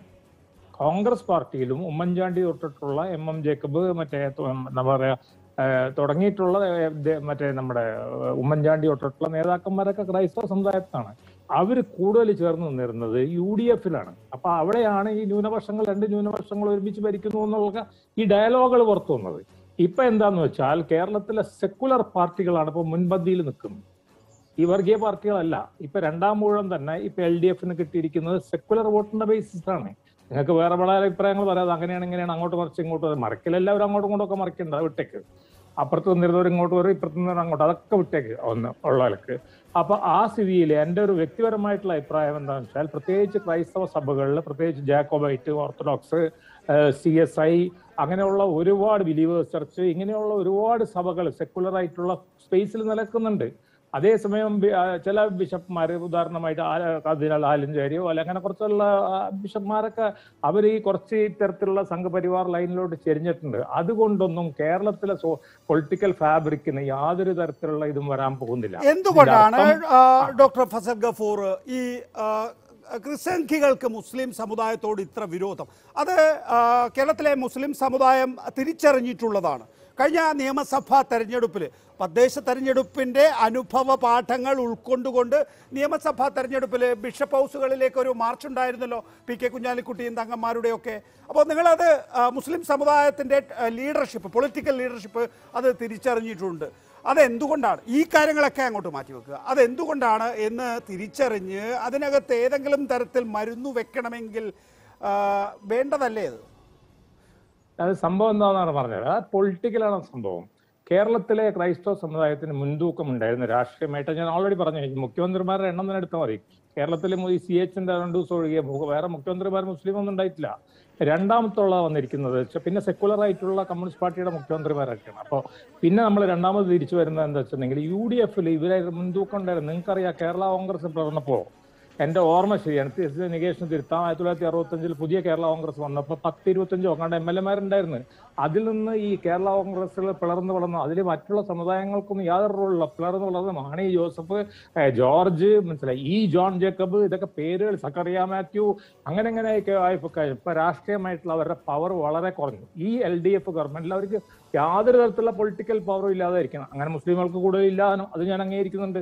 അതേസമയം യു ഡി എഫിന്റെ എന്താ പറ്റിയിരിക്കുന്നത്? യു ഡി എഫ് സെറ്റപ്പിൽ അവർക്ക് എന്താ സംഭവിച്ചിരിക്കുന്നതെന്ന് വെച്ചാൽ മുസ്ലിം ലീഗിന്റെ ഒരു അപ്രമാദിത്യം അവിടെ വന്നു. മനസ്സിലായില്ലേ കോൺഗ്രസ്സിന് കുറച്ചൊക്കെ മുസ്ലിം ലീഗിനോട് വിധേയത്വമുണ്ട്. ഇല്ലാതെ ഞാൻ പറയുന്നില്ല.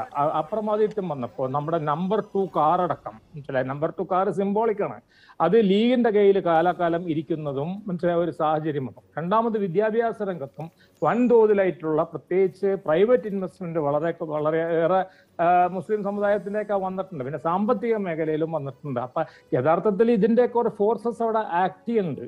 അതൊക്കെ ഒരു മാന്യമായ രീതിയിൽ ആക്ട് ചെയ്യണമെന്നെ കൊണ്ട് ഒരു പോരാ ഒരു- കോമ്പറ്റീഷൻ എന്നുള്ളതൊക്കെ ആക്ട് ചെയ്യണമെന്നെ കൊണ്ട് നമുക്ക് യാതൊരു കുഴപ്പമില്ല. പക്ഷെ ഇതിൽ ചില ആൾക്കാരെങ്കിലും അവർ തീർച്ചയായിട്ടും ഇനി ഞാൻ മറ്റേ മുസ്ലിം മൗലിക മത മതമൗലികവാദത്തെ ഞാൻ കുറ്റം പറയുന്നില്ല എന്നുകൊണ്ടാ ഇവിടെ ഓണത്തിന് മറ്റേ ഓണം കൊണ്ടാടാൻ പാടില്ല എന്നും ക്രിസ്മസ് കേക്ക് കൊടുക്കാൻ പാടില്ല എന്നും കഴിക്കാൻ പാടില്ല എന്നും വിള നിലവിളക്ക് കത്തിക്കാൻ പാടില്ല എന്നൊക്കെ പറഞ്ഞ് നടക്കുന്ന കുറെ ആൾക്കാരുണ്ട്.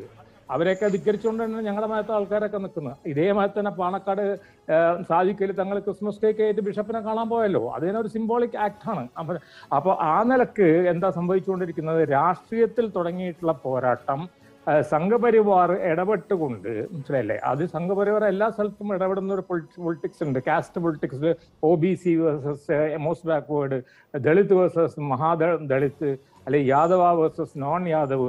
അപ്പൊ അതിന്റെ ഭാഗമായിട്ട് കേരളത്തിൽ അവരുടെ ഒരു എക്സ്പെരിമെന്റ് ആണ്. അവർ ഈഴവ നോക്കി. ഡോക്ടർ ഫസൽ ഗഫൂർ. ശ്രീ വിജി തമ്പി ഈ മുസ്ലിം വിരോധം അത് അത് ബോധപൂർവം കേരളത്തിൽ സൃഷ്ടിക്കപ്പെടുന്നില്ലേ? താങ്കളുടെ കാഴ്ചപ്പാട് എന്താണ്? ഒരിക്കലുമില്ല കാര്യം ഹിന്ദു സംസ്കാരം എന്ന് പറയുന്നത് എല്ലാവരെയും ഒന്നിച്ച് ചേർത്ത് നിർത്തുക എന്നുള്ളതാണ്. വസുദൈവ കുടുംബകം എന്നുള്ളതാണ് ഹിന്ദുവിന്റെ കൺസെപ്റ്റ് ലോകാ സമസ്ത സുഖിനോ ഭവന്തു എന്ന് വിശ്വസിക്കുന്ന ഒരേ ഒരു ഹൈന്ദവ സംസ്കാരത്തിന്റെ ഭാഗമാണത്. ഒരിക്കലും ആരെയും ഒറ്റയ്ക്ക് മാറ്റി നിർത്തുന്നില്ല. ഭാരതത്തിൽ ഒരു രണ്ട് തരം ആൾക്കാരേ ഉള്ളൂ. ഹിന്ദു അല്ലെങ്കിൽ ഹിന്ദു ആയിരുന്നവർ അല്ലെങ്കിൽ ഹിന്ദു ആയി മാറിയവർ. അല്ലാതെ ഹിന്ദുവിൽ അല്ലാതെ വേറെ ആരുമില്ല അങ്ങനെ വിശ്വസിക്കുന്നതാണ് നമ്മുടെ സംസ്കാരം. അതാണ് ഭാരതീയ സംസ്കൃതി. അതുകൊണ്ട് അങ്ങനെ ഒരാളെയും മാറ്റി നിർത്തുന്നില്ല. എല്ലാവരും ഒന്നിച്ച് നിൽക്കണമെന്ന് ആഗ്രഹിക്കുന്നതാണ് ഹിന്ദുത്വം. ഒരു ഞാൻ ചോദിക്കട്ടെ ഇവിടെ ഇവിടെ എത്രയോ പേർ ഹിന്ദുത്വത്തിനെതിരായി ഹിന്ദു ആചാരങ്ങൾക്കെതിരായി എന്തെല്ലാം രീതിയിൽ വിഷമിക്കുന്ന എത്രയോ ആൾക്കാരുണ്ടായിരുന്നു. അവർക്കെതിരെ എന്തെങ്കിലും നടപടി എടുക്കാൻ പിണറായി സർക്കാരിന്റെ ഈ പോലീസിന് കഴിഞ്ഞിട്ടുണ്ടോ?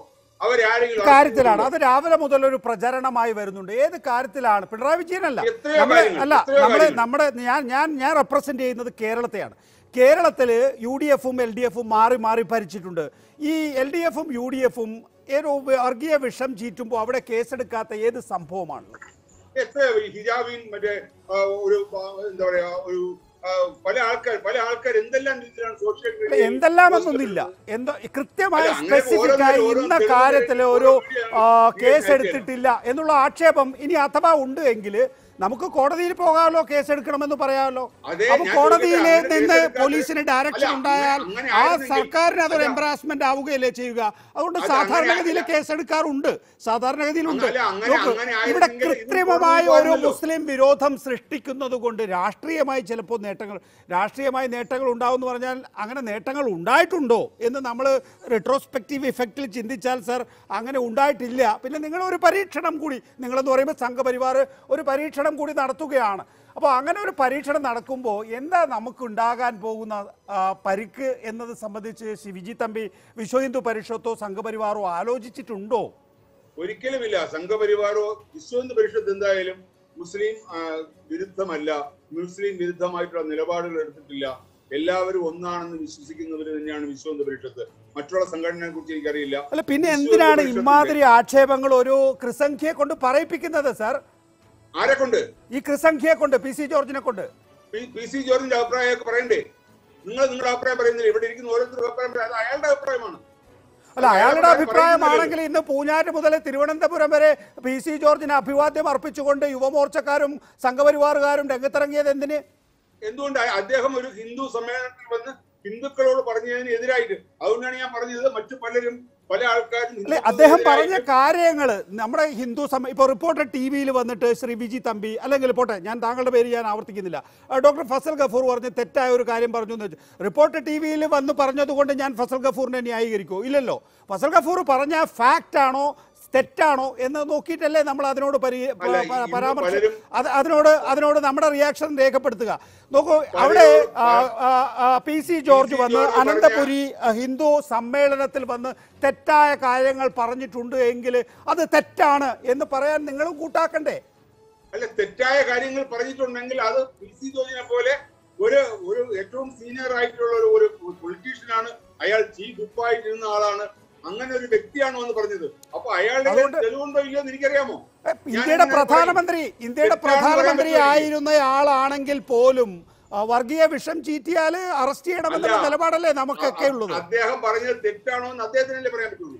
അദ്ദേഹം അത് തെറ്റാണെന്ന് എനിക്ക് അങ്ങനെ പറയാൻ പറ്റും. അല്ല അദ്ദേഹം പറഞ്ഞത് തെറ്റാണ് എന്ന് നമ്മുടെ പോലീസ് കണ്ടെത്തുന്നു. അദ്ദേഹത്തെ കോടതിയിൽ ഹാജരാക്കുന്നു. ഇവിടെ അഡ്വക്കേറ്റ് പി വി ദിനേശൻ പറഞ്ഞ അഭിപ്രായം വളരെ പ്രധാനപ്പെട്ടതാവുകയാണ്.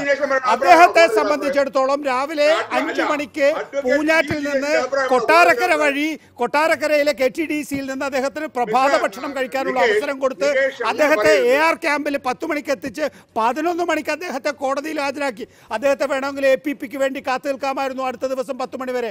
അതൊന്നും ചെയ്തില്ല സ്റ്റേറ്റ്. സ്റ്റേറ്റ് ഏറ്റവും മാന്യമായ രീതിയിലാണ് പെരുമാറിയത് പി സി ജോർജിനോട്. പിന്നെ അതിനെക്കുറിച്ച് അദ്ദേഹത്തെ മാന്യമായ രീതിയിലുള്ള പെരുമാറ്റമാണോ? നേരം വീട്ടിൽ പോയിട്ട് പിന്നെന്താ? നേരം പോലെ വെളുക്കുമ്പോഴല്ലേ അർദ്ധരാത്രിയിലല്ലോ രാവിലെ അഞ്ചു മണിക്ക് പി സി ജോർജിന്റെ വീട്ടിൽ ഒളിച്ചോടി പോകുന്ന ഒരാളാണോ? പി സി ജോർജിനെ പറഞ്ഞ ഒരു വ്യക്തിത്വമുള്ള ആളല്ലേ? അയാൾക്ക് വരാൻ പറഞ്ഞാൽ തിരുവനന്തപുരത്ത് വരില്ലേ? അങ്ങനെയൊന്നും ഒന്നും പോരാ. അങ്ങനെ ഒന്നും അങ്ങനെയൊന്നും പോരാ. നിയമവ്യവസ്ഥ നിയമവ്യവസ്ഥ നോക്കൂ. നിയമവ്യവസ്ഥയിൽ വർഗീയ വിഷം ചീറ്റുന്നതുണ്ടെങ്കിൽ അവിടെ വീട്ടിൽ ചെന്ന് അറസ്റ്റ് ചെയ്യണം. അല്ലാതെ നിങ്ങൾ ഞങ്ങളുടെ അടുത്തേക്ക് വരുമോ ഇപ്പോ പി സി ജോർജിനെ പോലുള്ളവർ ഇപ്പൊ പറയും എന്നോടൊന്ന് ഫോണിൽ വിളിച്ച് പറഞ്ഞാൽ പോരെ എന്ന് പി സി ജോർജിനെ ഇനി ഫോണിൽ വിളിച്ചു പറഞ്ഞാൽ എന്താ ചെയ്യാ ശ്രീ വിജി തമ്പി? താങ്കൾക്കൊക്കെ പി സി ജോർജിനെ പത്രത്തിലൊക്കെ അറിയുള്ളൂ. ഞങ്ങളൊക്കെ എല്ലാ ദിവസവും കോൺഫ്രണ്ട് ചെയ്താൽ പോയി പണി നോക്കണമെന്ന് പറയും ഫോണിൽ വിളിച്ചാൽ അങ്ങനെയൊന്നുമില്ല. പി സി ജോർജിന് ഹാജരാകാൻ പറഞ്ഞാൽ ഒരു ഒരു ജനപ്രതിനിധി നിലയ്ക്ക് അയാൾ ഹാജരാകേണ്ട ആവശ്യമാണ്. അയാൾ തീർച്ചയായിട്ടും വന്നിരിക്കും. അല്ല അങ്ങനെയൊന്നുമല്ല. പക്ഷെ അതൊരു ഇത് പി സി ജോർജിനെ അറസ്റ്റ് ചെയ്തതോടുകൂടി മറ്റു പലർക്കും കൊടുക്കുന്ന ഒരു അപായ സൂചനയാണ്. നിങ്ങൾ പോയി ഇതുപോലെ സംസാരിച്ചാൽ നിങ്ങൾക്ക് ഇതിനേക്കാളും മോശമായ അനുഭവമായിരിക്കും ഉണ്ടാവുന്നത് എന്ന് സർക്കാരിന്റെ ഭാഗത്തു നിന്നുള്ള സൂചനയാണ് ശരി. ഞാൻ മടങ്ങിയെത്താം ദയവായി തുടരുക താങ്കൾ. ശ്രീ തമ്പി ശ്രീ പി വി ദിനേശ് ആ, ഇതിലെ നിയമപരമായി ഇനി എന്ത് സാധ്യതയുണ്ട്? ഇതൊരു മുന്നറിയിപ്പാണ് കേരളം ആ പി വി ദിനേശിലേക്ക് മടങ്ങിയത്. പക്ഷേ എസ് കെ സജീഷ് ഇതൊരു അപായ സൂചന എന്ന് നേരത്തെ ശ്രീ വിജി തമ്പി പറഞ്ഞതിൽ നിന്ന് ഞാനൊരു ക്യൂ എടുത്ത് ചോദിക്കുകയാണ്. ഇത്രയധികം വാർത്താ പ്രാധാന്യം കിട്ടുന്ന കാര്യമാണെങ്കിൽ ഞാൻ പൊളിറ്റിക്കലായി ഒന്ന് വീണ് നിൽക്കുകയാണെങ്കിൽ എനിക്ക് പിടിച്ചു കയറാനുള്ള ഒരു പടിയായി ഒരു വർഗീയ പരാമർശം നടത്തി നോക്കിയാൽ എങ്ങനെ ഇരിക്കും? എന്നുള്ള ഒരു സാമ്പിൾ കേസായി പി സി ജോർജ് കേസ് മാറുന്നുണ്ടോ? നികേഷ് ഒരു കാര്യം. ശ്രീ വിജി തമ്പി പറഞ്ഞ ചില കാര്യങ്ങൾ നമ്മൾ പരിശോധിക്കേണ്ടതുണ്ട് അല്ലെങ്കിൽ ഡിസ്കസ് ചെയ്യേണ്ടതുണ്ട്. ഒന്ന് അദ്ദേഹം സ്ഥാപനങ്ങളെ കുറിച്ച് പറഞ്ഞു. ഇവിടെ വലിയ മാളുകളും മറ്റും വരുമ്പോൾ സാധാരണ ചെറുകിട കച്ചവടക്കാരുടെ ജീവിതം ദുസ്സഹമാകുമെന്ന്. ആരുടെ നയമാണ്. ആ നയമാണോ അവർ ചർച്ച ചെയ്തത്? ഇവിടെ കോർപ്പറേറ്റുകളെ ഇങ്ങോട്ട് ക്ഷണിച്ചുകൊണ്ടുവരുന്ന നയത്തെക്കുറിച്ചല്ല അവർ ചർച്ച ചെയ്തത്. ആ നയം രാജ്യത്ത് നിർബാധമായി നടപ്പിലാക്കിക്കൊണ്ടിരിക്കുകയാണ്. ഇവിടെ ഒരു വശത്ത് ഈ പറയുന്ന നയത്തിന്റെ വക്താക്കളാണ് അവർ. പക്ഷെ അവിടെ മതം തിരിച്ചുകൊണ്ട് കാര്യങ്ങളെ വേർതിരിച്ചുകൊണ്ട് ചില കാര്യങ്ങൾ അവതരിപ്പിക്കുകയും ചെയ്യുകയാണ് എന്നുള്ളതാണ് പ്രശ്നം. ആ പ്രശ്നത്തെ നമുക്ക് വേറെ കാണാൻ വേണ്ടി കഴിയണം. ഇവിടെ ഒരു കാര്യം നേരത്തെ പറഞ്ഞതിന്റെ ഒരു കാര്യം കൂടി ക്ലിയർ ചെയ്ത് പോകണം ഞാൻ കരുതുകയാണ്. അതായത് ഇപ്പൊ സാധാരണഗതിയിൽ എ പി പിമാർ എ പി പി എന്ന് പറയുന്ന സമയത്ത് അഡീഷണൽ പബ്ലിക് പ്രോസിക്യൂട്ടർ അല്ല അസിസ്റ്റന്റ് പബ്ലിക് പ്രോസിക്യൂട്ടർ ആണ്. പി എസ് സി വഴി നിയമിക്കുന്ന സർക്കാർ ഉദ്യോഗസ്ഥനാണ് മജിസ്ട്രേറ്റ് കോടതിയിൽ ഉണ്ടായത്. അതായത് അദ്ദേഹത്തിന് ഞായറാഴ്ച ലീവാണ് മറ്റത് അഞ്ചു വർഷത്തേക്ക് സർക്കാർ നിയമിക്കുന്ന ആളുകളാണ് അഡീഷണൽ പബ്ലിക് പ്രോസിക്യൂട്ടർമാർ അത്തരം ആളുകൾ മജിസ്ട്രേറ്റ് കോടതിയിൽ ഉണ്ടാവില്ല. ഇത് നേരിട്ട് സർക്കാരിന്റെ ഔദ്യോഗിക ഉദ്യോഗസ്ഥന്മാരാണ്. പി എസ് സി വഴി നിയമനം നടത്തുന്ന ആളുകളാണ്. സ്വാഭാവികമായി നമുക്കറിയാം കോടതിയിലൊക്കെ നമ്മൾ ഉൾപ്പെടെ പല കേസുകൾക്കും ഹാജരായിട്ടുണ്ട്. ഒഴിവ് ദിവസങ്ങളിൽ ഹാജരായാൽ ആ കേസിനകത്ത് മത്സരിട്ട് ആ വകുപ്പിന്റെയും അതുപോലെ തന്നെ പോലീസിന്റെയും അഭിപ്രായം പരിഗണിച്ചുകൊണ്ട് കോടതിയുള്ള ദിവസത്തേക്ക് മാറ്റിവെച്ചുകൊണ്ട് റിമൈൻഡ് ചെയ്യാണ് ചെയ്യുക. പതിനാല് ദിവസത്തേക്ക് റിമൈൻഡ് ചെയ്യാണ് ചെയ്യുക. അതിവിടെ ഉണ്ടായില്ല എന്നുള്ളതാണ്. സ്വാഭാവികമായി കോടതി നടപടി പരിശോധിക്കുന്ന ആർക്കും മനസ്സിലാക്കാൻ വേണ്ടി കഴിയും. അതുകൊണ്ടാണ് അതുമായി ബന്ധപ്പെട്ട അപ്പീലും തുടർന്ന് ഈ പ്രതിയായിട്ടുള്ള ആൾ ഇപ്പോ ആ ജാമ്യ വ്യവസ്ഥ പോലും ലംഘിച്ചുകൊണ്ട് നടത്തിയ നിലപാടുകൾക്കെതിരായും ശക്തമായ നിലപാട് ഗവൺമെന്റ് ഭാഗത്തുനിന്നുണ്ടാകും പോലീസിന്റെ ഭാഗത്തുനിന്നുണ്ടാകും എന്നതുകൂടി ഞാൻ കൂട്ടിച്ചേർത്തത് മറ്റൊന്ന് ഇവിടെ കാണേണ്ട പ്രധാനപ്പെട്ട വിഷയം നമ്മളിത് ചർച്ച ചെയ്യുന്ന സമയത്തും അതിനപ്പുറത്തേക്കുള്ള ഈ ഈ സാങ്കേതികത്വത്തിനപ്പുറത്തേക്ക് നമ്മൾ കാണേണ്ടത് ഇവിടെ കേരളത്തിന്റെ സാമൂഹ്യ അന്തരീക്ഷത്തെ മരീമസപ്പെടുത്താനുള്ള ഇവരുടെ പരിശ്രമം. ആ പരിശ്രമത്തെ കാണേണ്ടതുണ്ടല്ലോ. അതിനെല്ലാം എന്തെല്ലാം ശ്രമങ്ങളാണ്? ശ്രീ നികേഷ് കുമാർ നേരത്തെ പറഞ്ഞ പോലെ തന്നെ ആർ എസ് എസിന് രാജ്യത്ത് ഏറ്റവും കൂടുതൽ ശാഖയുണ്ടായിരുന്ന പ്രദേശമാണ് കേരളം. ആ പ്രദേശത്തെ ജനങ്ങളുടെ അറിവും അതുപോലെ തന്നെ സാമൂഹ്യ പരിജ്ഞാനവും എല്ലാം നിലനിർത്തുന്നതുകൊണ്ടാണ് ആർ എസ് എസിന് വളരാൻ വേണ്ടി കഴിയാത്തത്. ഇടതുപക്ഷത്തിന്റെ രാഷ്ട്രീയത്തിന്റെ കരുത്ത് അതിൽ പ്രധാനപ്പെട്ട ഘടകമാണ്. മതനിരപേക്ഷ രാഷ്ട്രീയത്തിന്റെ കരുത്ത് അതിലെ പ്രധാനപ്പെട്ട ഘടകമാണ്. അതിനെ ആ മതനിരപേക്ഷ രാഷ്ട്രീയത്തെ അട്ടിമറിക്കാനുള്ള പരിശ്രമം നടത്തുന്നത്. നമുക്ക് ഒന്നുകൂടി കുട്ടി വായിക്കാം. ഇപ്പോ മോദിജിയുടെ സ്വപ്നം പൂവണിഞ്ഞ് സമീപഭാവിയിൽ തന്നെ എഴുപത് സീറ്റിനപ്പുറത്തേക്ക് ബി ജെ പിയുടെ എത്തും എന്ന് ഇന്നലെ ശ്രീ കെ സുരേന്ദ്രൻ പറയുന്ന ഒരു സാഹചര്യം ഉണ്ടായി. അവിടെ നമ്മൾ കാണേണ്ടത് അവർ അതിനുവേണ്ടി ഈ കേരളത്തെ നമ്മളെല്ലാവരും ജീവിക്കുന്ന ഈ കേരളത്തെ ഇല്ലാതാക്കാനോ ഇരുട്ടിലാക്കാനോ ഉള്ള ശ്രമമാണ് അല്ല നടത്തിക്കൊണ്ടിരിക്കുന്നത്. അതാണ് ഞാൻ ചോദിച്ചത് ഷെസ് കെ സജീഷ്. ഇനിയെങ്കിലും ആ ചോദ്യത്തിലെ ഉത്തരത്തിലേക്ക് വരൂ.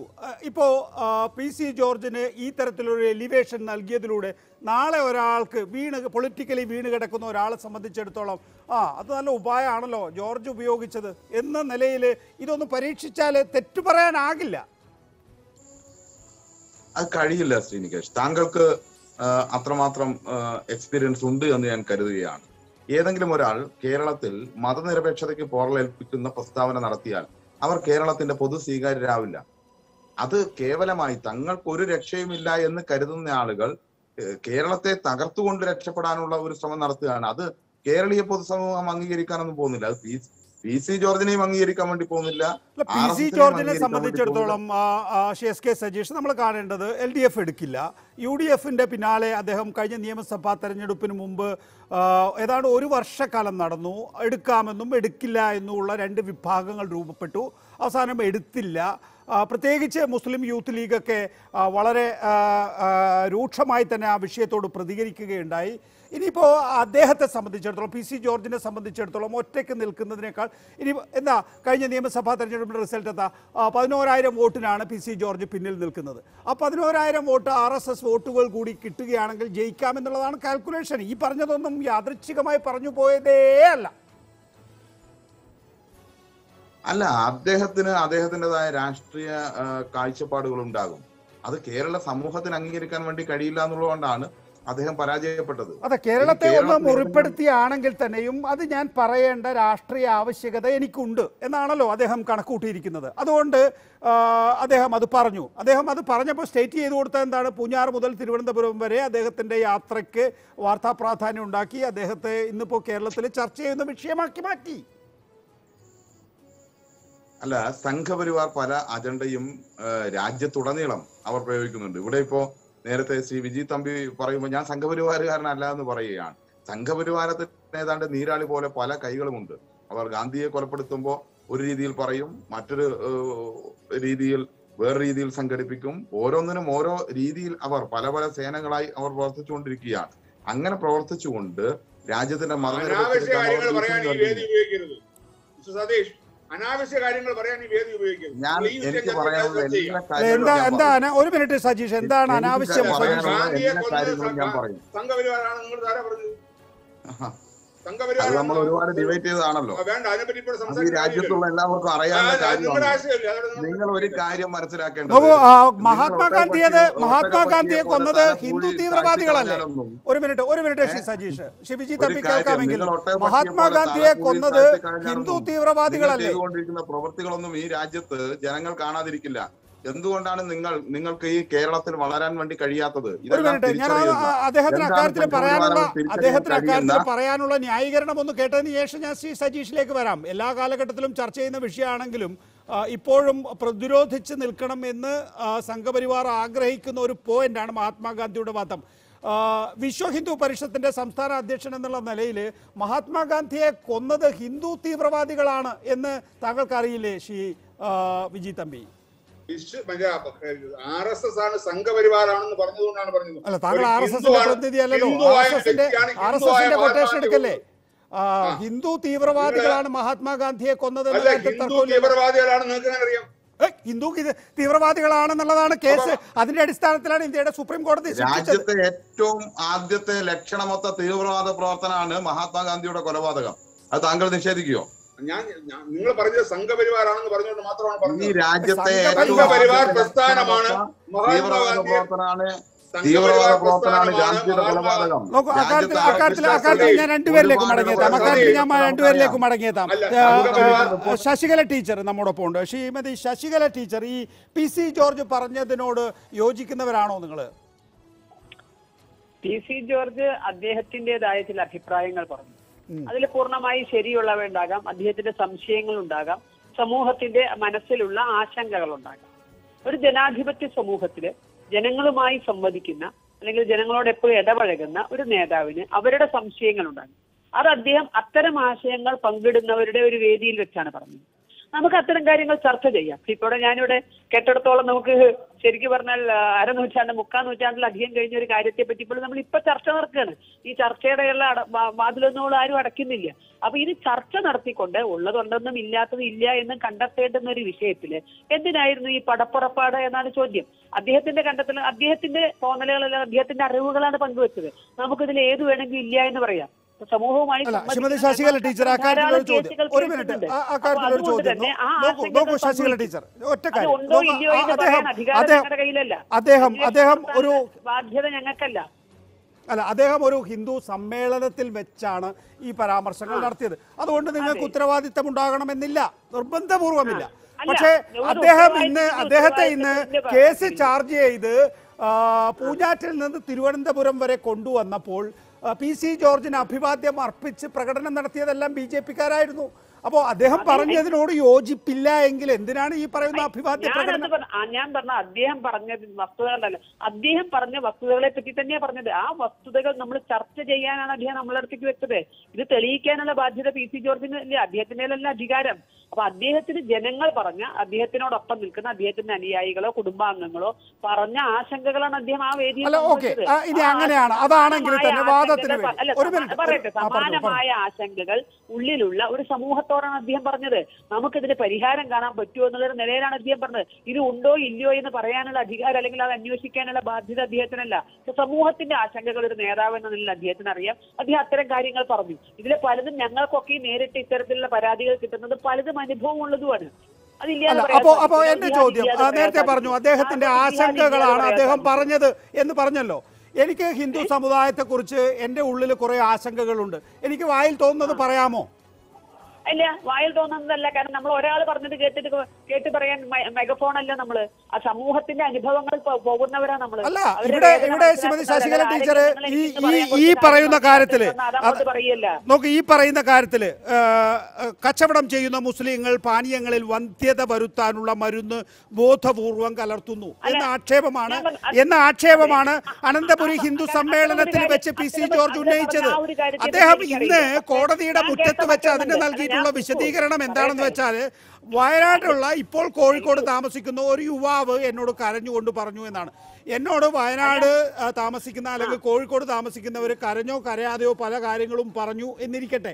ഒരു പൊതുപ്രവർത്തകൻ എന്നുള്ള നിലയിൽ എനിക്ക് അത് പബ്ലിക്കായി എക്സ്പ്രസ് ചെയ്യാൻ കഴിയുമോ? ഞാൻ അതിന്റെ മറ്റൊരു വശം ഇതിന്റെ മറ്റൊരു വശം ചോദിക്കട്ടെ. എനിക്ക് ഇങ്ങനെ വന്ധ്യത ഉണ്ടാക്കാൻ ഇത്തരത്തിലൊരു തുള്ളി മരുന്നുകൊണ്ട് എന്ന് എനിക്ക് അറിയുന്ന കാര്യമുള്ളൂ. എനിക്ക് അത്ര ശാസ്ത്രീയതയെ പറ്റി വശമില്ല. ഞാനത് എവിടെയും പറഞ്ഞിട്ടില്ല. പക്ഷെ മറിച്ച് ഞാൻ ചിലത് നോക്കുന്നു കാരണം ഞാനൊരു അധ്യാപികയായിരുന്നു. ധാരാളം പ്രതിരോധ കുത്തിവയ്പ്പുകൾ വിദ്യാലയങ്ങളിലൊക്കെ നടക്കുന്ന സമയത്ത് നേരിട്ട് വ്യക്തമായി കിടന്ന പല മതപണ്ഡിതന്മാർ പറയുന്നത് അത് കേട്ടുകൊണ്ട് രക്ഷിതാക്കൾ പറയുന്നത് ഇവിടെ നടത്തുന്ന പല പ്രതിരോധ കുത്തിവയ്പ്പും മുസ്ലിം സമൂഹത്തിനെ വന്ധ്യരാക്കാൻ വേണ്ടിയാണ്.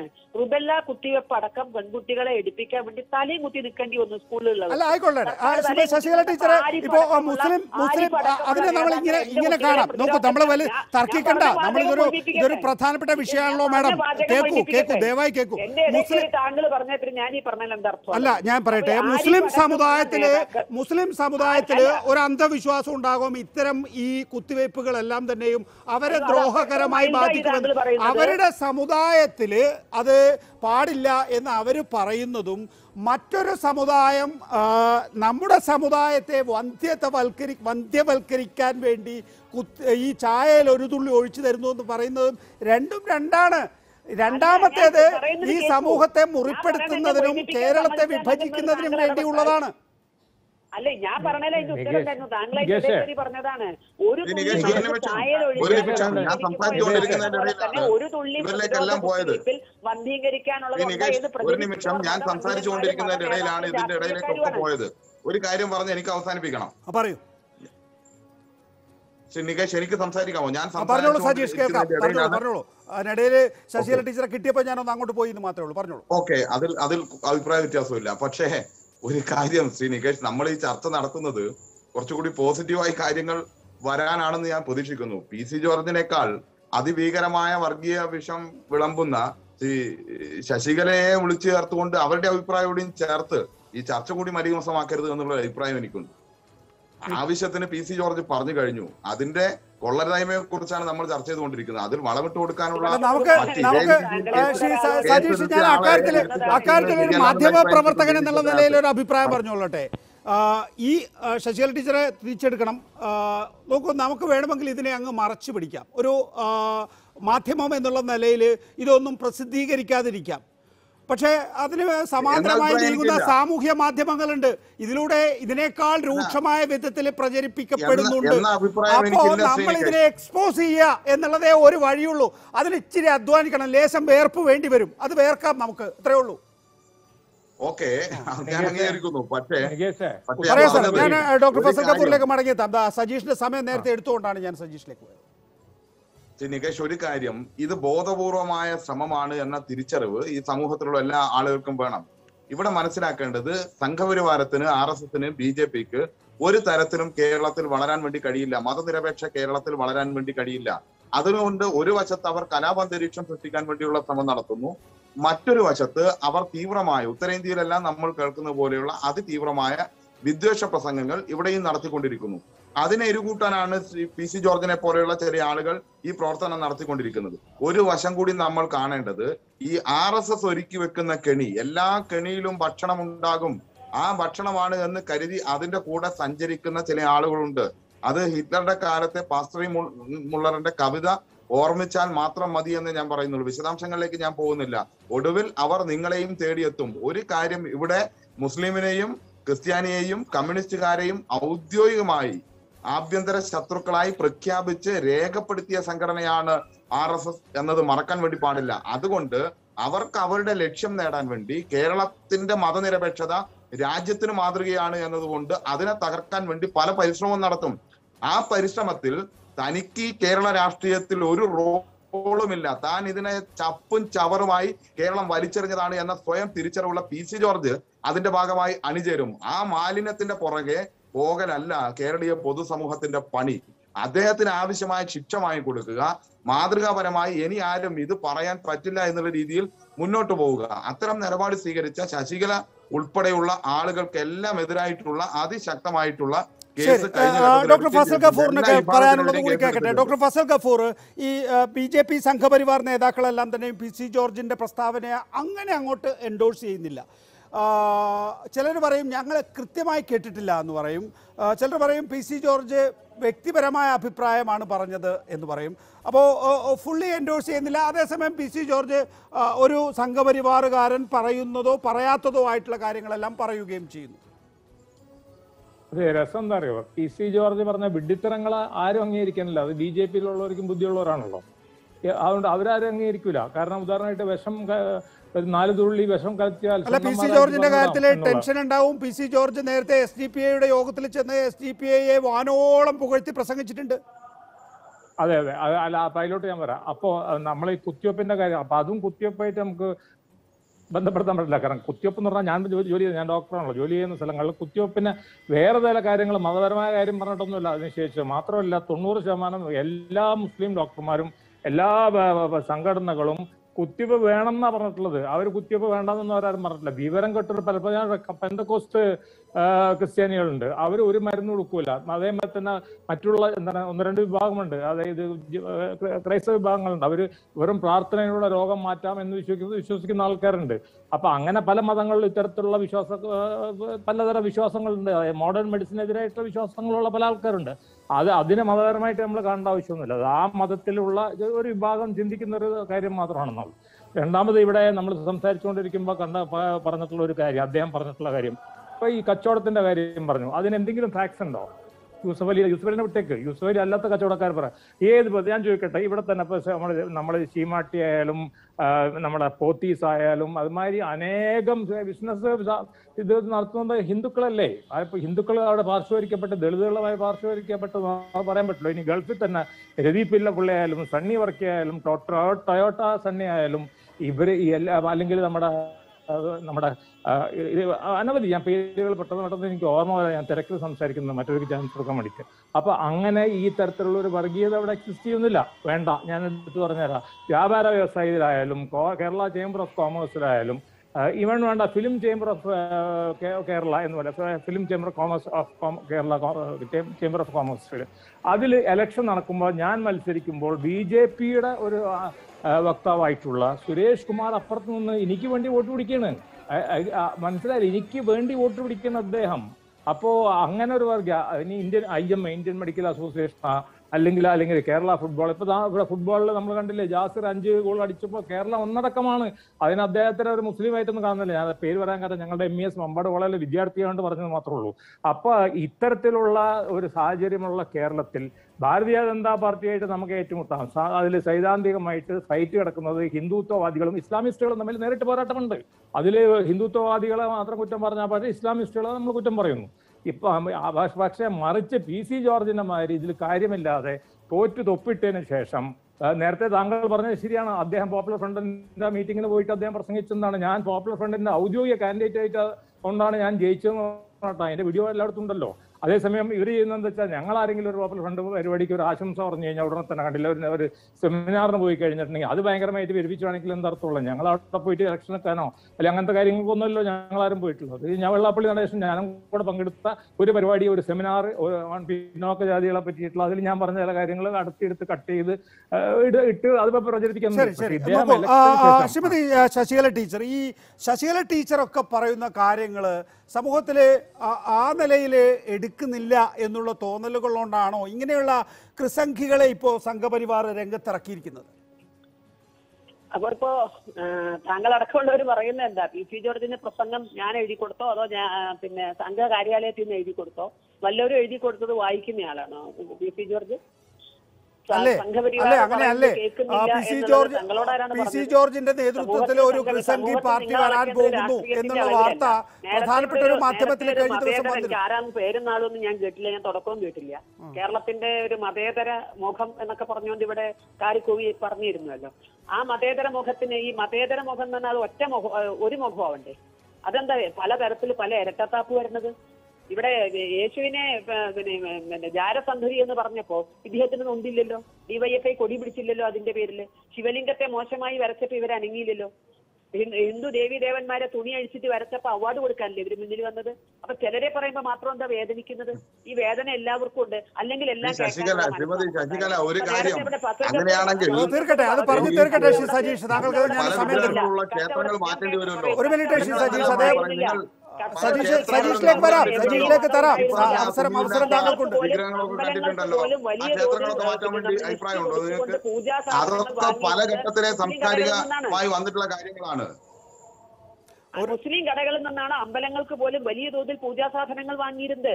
എവിടെയാണിത് മനസ്സിൽ തോന്നലുകൾ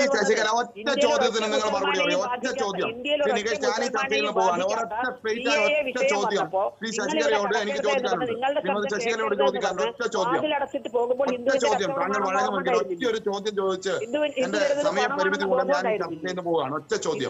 ഒറ്റ ഇന്ത്യയിലെ ഒരൊറ്റ മുസൽമാനെ പോലും ബാധിക്കാത്ത നിയമം. ഇപ്പോൾ ഇപ്പോഴും ആരെയും അത് ബാധിച്ചില്ല എന്തൊക്കെ കോലാഹലം അവിടെ കാട്ടിക്കൂട്ടി? നിങ്ങൾ ഞങ്ങൾക്ക് കടക്കണ്ട. എത്ര സ്ഥലത്ത് കടയടച്ചോടി അന്ന് കടയടച്ചവരെ നോട്ട് ചെയ്ത് വെച്ചിരുന്ന സത്യം തന്നെയാണത്. വിധികളല്ല ഇവിടുത്തെ സമൂഹം. ആ തരത്തിൽ എല്ലാ കാര്യത്തിനും ഒരു മതവും നോക്കാതെ തന്നെ അവിടെ കയറിയിരുന്നത് ഭക്ഷണം കഴിക്കാനും സാധനം വാങ്ങിക്കാനും. അതാ പറഞ്ഞ പൂജാ സാധനം വരെ മുസ്ലിം കടകളിൽ നിന്നാണ് വാങ്ങിച്ചിരുന്നത്. ഇപ്പൊ എന്താ അങ്ങനെ വാങ്ങാത്തത്? അതിനെന്താ ന്യായീകരണം? നിങ്ങളുടെ വിജയമാണെന്നാ പറയുന്നത് അല്ല, ഇപ്പൊ എന്താ അങ്ങനെ വാങ്ങാത്തതിന് എന്ത് കാരണമാണ് പറയാനുള്ളത്? നിങ്ങളുടെ വിജയമാണ്. അങ്ങനെ ഓരോ കാര്യത്തിനും ഞാൻ ഒരു ഒരു മറ്റേ മറ്റേ ഫുഡ് പ്രോഡക്ട്സുകാരൻ ഒരു വേദിയിൽ വന്ന് പ്രസംഗിക്കുന്ന കേട്ടു. ഞാൻ ചെയ്യുന്നതിന്റെ ഇത്ര ശതമാനം മതപരമായ കാര്യങ്ങൾക്കാ കൊടുക്കാം. ആ ഫുഡ് പ്രോഡക്റ്റ്സ് വാങ്ങി കഴിച്ചവനൊക്കെ വിദ്യയില്ലേ? എന്റെ കൂടി പണം കൊണ്ടാണ് എന്നെ മതം മാറ്റാൻ പൈസ കൊടുക്കണമെന്ന് പറഞ്ഞാൽ ഞാൻ പിന്നെ അത് വാങ്ങിക്കുവോ? ഞാൻ പിന്നെ അത് വാങ്ങിക്കണോ? ഈ ശശികല എല്ലാ മതസ്ഥരും സർവ സർവ മതസ്ഥരും സർവ മതസ്ഥരും കൈകാര്യം ചെയ്യാത്ത അവരുടെ അധ്വാനം ഉപയോഗിക്കാത്ത ഒരു ഉൽപ്പന്നവും താങ്കളും ഈ പറയുന്ന ഒരു ആർ എസ് എസ്കാരനും ഇന്ന് വരെ ജീവിതത്തിൽ ഉപയോഗിച്ചിട്ടില്ല. ഉണ്ടെങ്കിൽ ഏതെങ്കിലും ഒരു ഉൽപ്പന്നത്തിന്റെ പേര് പറയുന്നത് ഈ ലോകത്തുള്ള സകല മനുഷ്യരുടെ അധ്വാനത്തിന്റെ ഉൽപ്പന്നം അല്ലാതെ നിങ്ങൾ ഉപയോഗിച്ച് ഏതെങ്കിലും ഒരു ഉൽപ്പന്നത്തിന്റെ പേര് പറഞ്ഞു പറഞ്ഞാൽ നിങ്ങൾ പറയുന്നത് കേൾക്കാം. ആ പണത്തിൽ എന്റെ പണം വേണ്ട എന്നൊരു ഹിന്ദു തീരുമാനിച്ചാൽ അതിനുള്ള അവകാശം അവർക്കുണ്ട്. എന്നെ മതം മാറ്റാൻ എന്റെ കുട്ടികളെ ലവ് ജിഹാദിൽ പെടുത്താൽ എന്റെ പണം ഉപയോഗിക്കരുത്. എന്ന് ആരെങ്കിലും ചിന്തിച്ചാൽ അവരെ കുറ്റപ്പെടുത്താനുള്ള ഒരു അവകാശവും നിങ്ങൾക്കില്ല അവരധ്വാനിച്ച പണമാണ് അത് ആർക്ക് കൊടുക്കണം എന്തിനു ഉപയോഗിക്കണം പ്രവർത്തനങ്ങൾക്കോ അല്ലെങ്കിൽ ഇസ്ലാമിക പ്രവർത്തനങ്ങൾക്കോ കൊടുക്കാമെങ്കിൽ അത് കൊടുക്കണ്ട എന്ന് തീരുമാനിക്കാൻ മറ്റൊരാളുടെ അവകാശത്തെ നിങ്ങൾക്ക് ചോദ്യം ചെയ്യേണ്ട. ശ്രീമതി ശശികല ടീച്ചർ നിങ്ങൾ സംസാരിക്കുന്നത് ഒരു ഇന്ത്യൻ ചിന്താഗതികളെ കേരള പ്രതികരണങ്ങളെ മറ്റു മതങ്ങൾ മറ്റു രാജ്യങ്ങളിൽ അങ്ങനെ ചിന്തിച്ചാൽ എന്താണ് സ്ഥിതി? ആദ്യം ഉണ്ടാക്കേണ്ടത് മതവിദ്വേഷം ജനിപ്പിക്കുന്ന ഇത്തരം തീരുമാനങ്ങൾ. അവർ പറയുന്ന ഞങ്ങളൊരു പ്രത്യേക വിഭാഗമാണ്. ഞങ്ങൾക്ക് ഇന്നത് ചെയ്യാൻ ഞങ്ങളെ ആരും ഒന്നും പറയരുത് എന്ന് പറഞ്ഞുകൊണ്ടുള്ള നിങ്ങൾക്ക് അധികകാലം ഇങ്ങനെ ഒരു കൊക്കൂണിലിട്ട് ഇവിടെ സൂക്ഷിക്കാൻ കഴിയില്ല. നോക്കൂ ശ്രീമതി ശശികല ടീച്ചറെ ഒരു കൂപമണ്ടൂകം എന്നുള്ള നിലയിൽ മലയാളികളായിട്ടുള്ള സംഘപരിവാറുകാർക്ക് ഈ തരത്തിൽ വർഗീയ വിദ്വേഷം ചെലുത്തുന്ന വാക്കുകൾ പറയാം പ്രസ്താവനകൾ നടത്താം. പക്ഷെ അത് ആലോ ആഗോളതലത്തിലേക്ക് അതിന്റെ പ്രത്യാഘാതം ഉണ്ടായാൽ നമ്മുടെ സമൂഹത്തിന്റെ അവസ്ഥ എന്താണ്? കേരളത്തിൽ നിന്ന് പുറം സംസ്ഥാനങ്ങളിലേക്കും രാജ്യങ്ങളിലേക്കും പോയിട്ടുള്ള ഹിന്ദുക്കൾ അടങ്ങിയിട്ടുള്ള സമൂഹത്തിന്റെ അവസ്ഥ എന്തായിരിക്കും എന്ന് ചിന്തിച്ചിട്ടുണ്ടോ? ഇത്തരം വർഗീയ വിഷം ചീറ്റുമ്പോൾ ശ്രീമതി ശശികല ടീച്ചർ? ഡിസ്കണക്റ്റഡ് ആണ്. Viji Thampi V H P സംസ്ഥാന അധ്യക്ഷൻ ഒപ്പം തന്നെ S K Sajeesh doctor Fazal Gafoor advocate P V Dinesh K P Sasikala teacher editors അവർ സഹകരിച്ചതിന് നന്ദി നമസ്കാരം.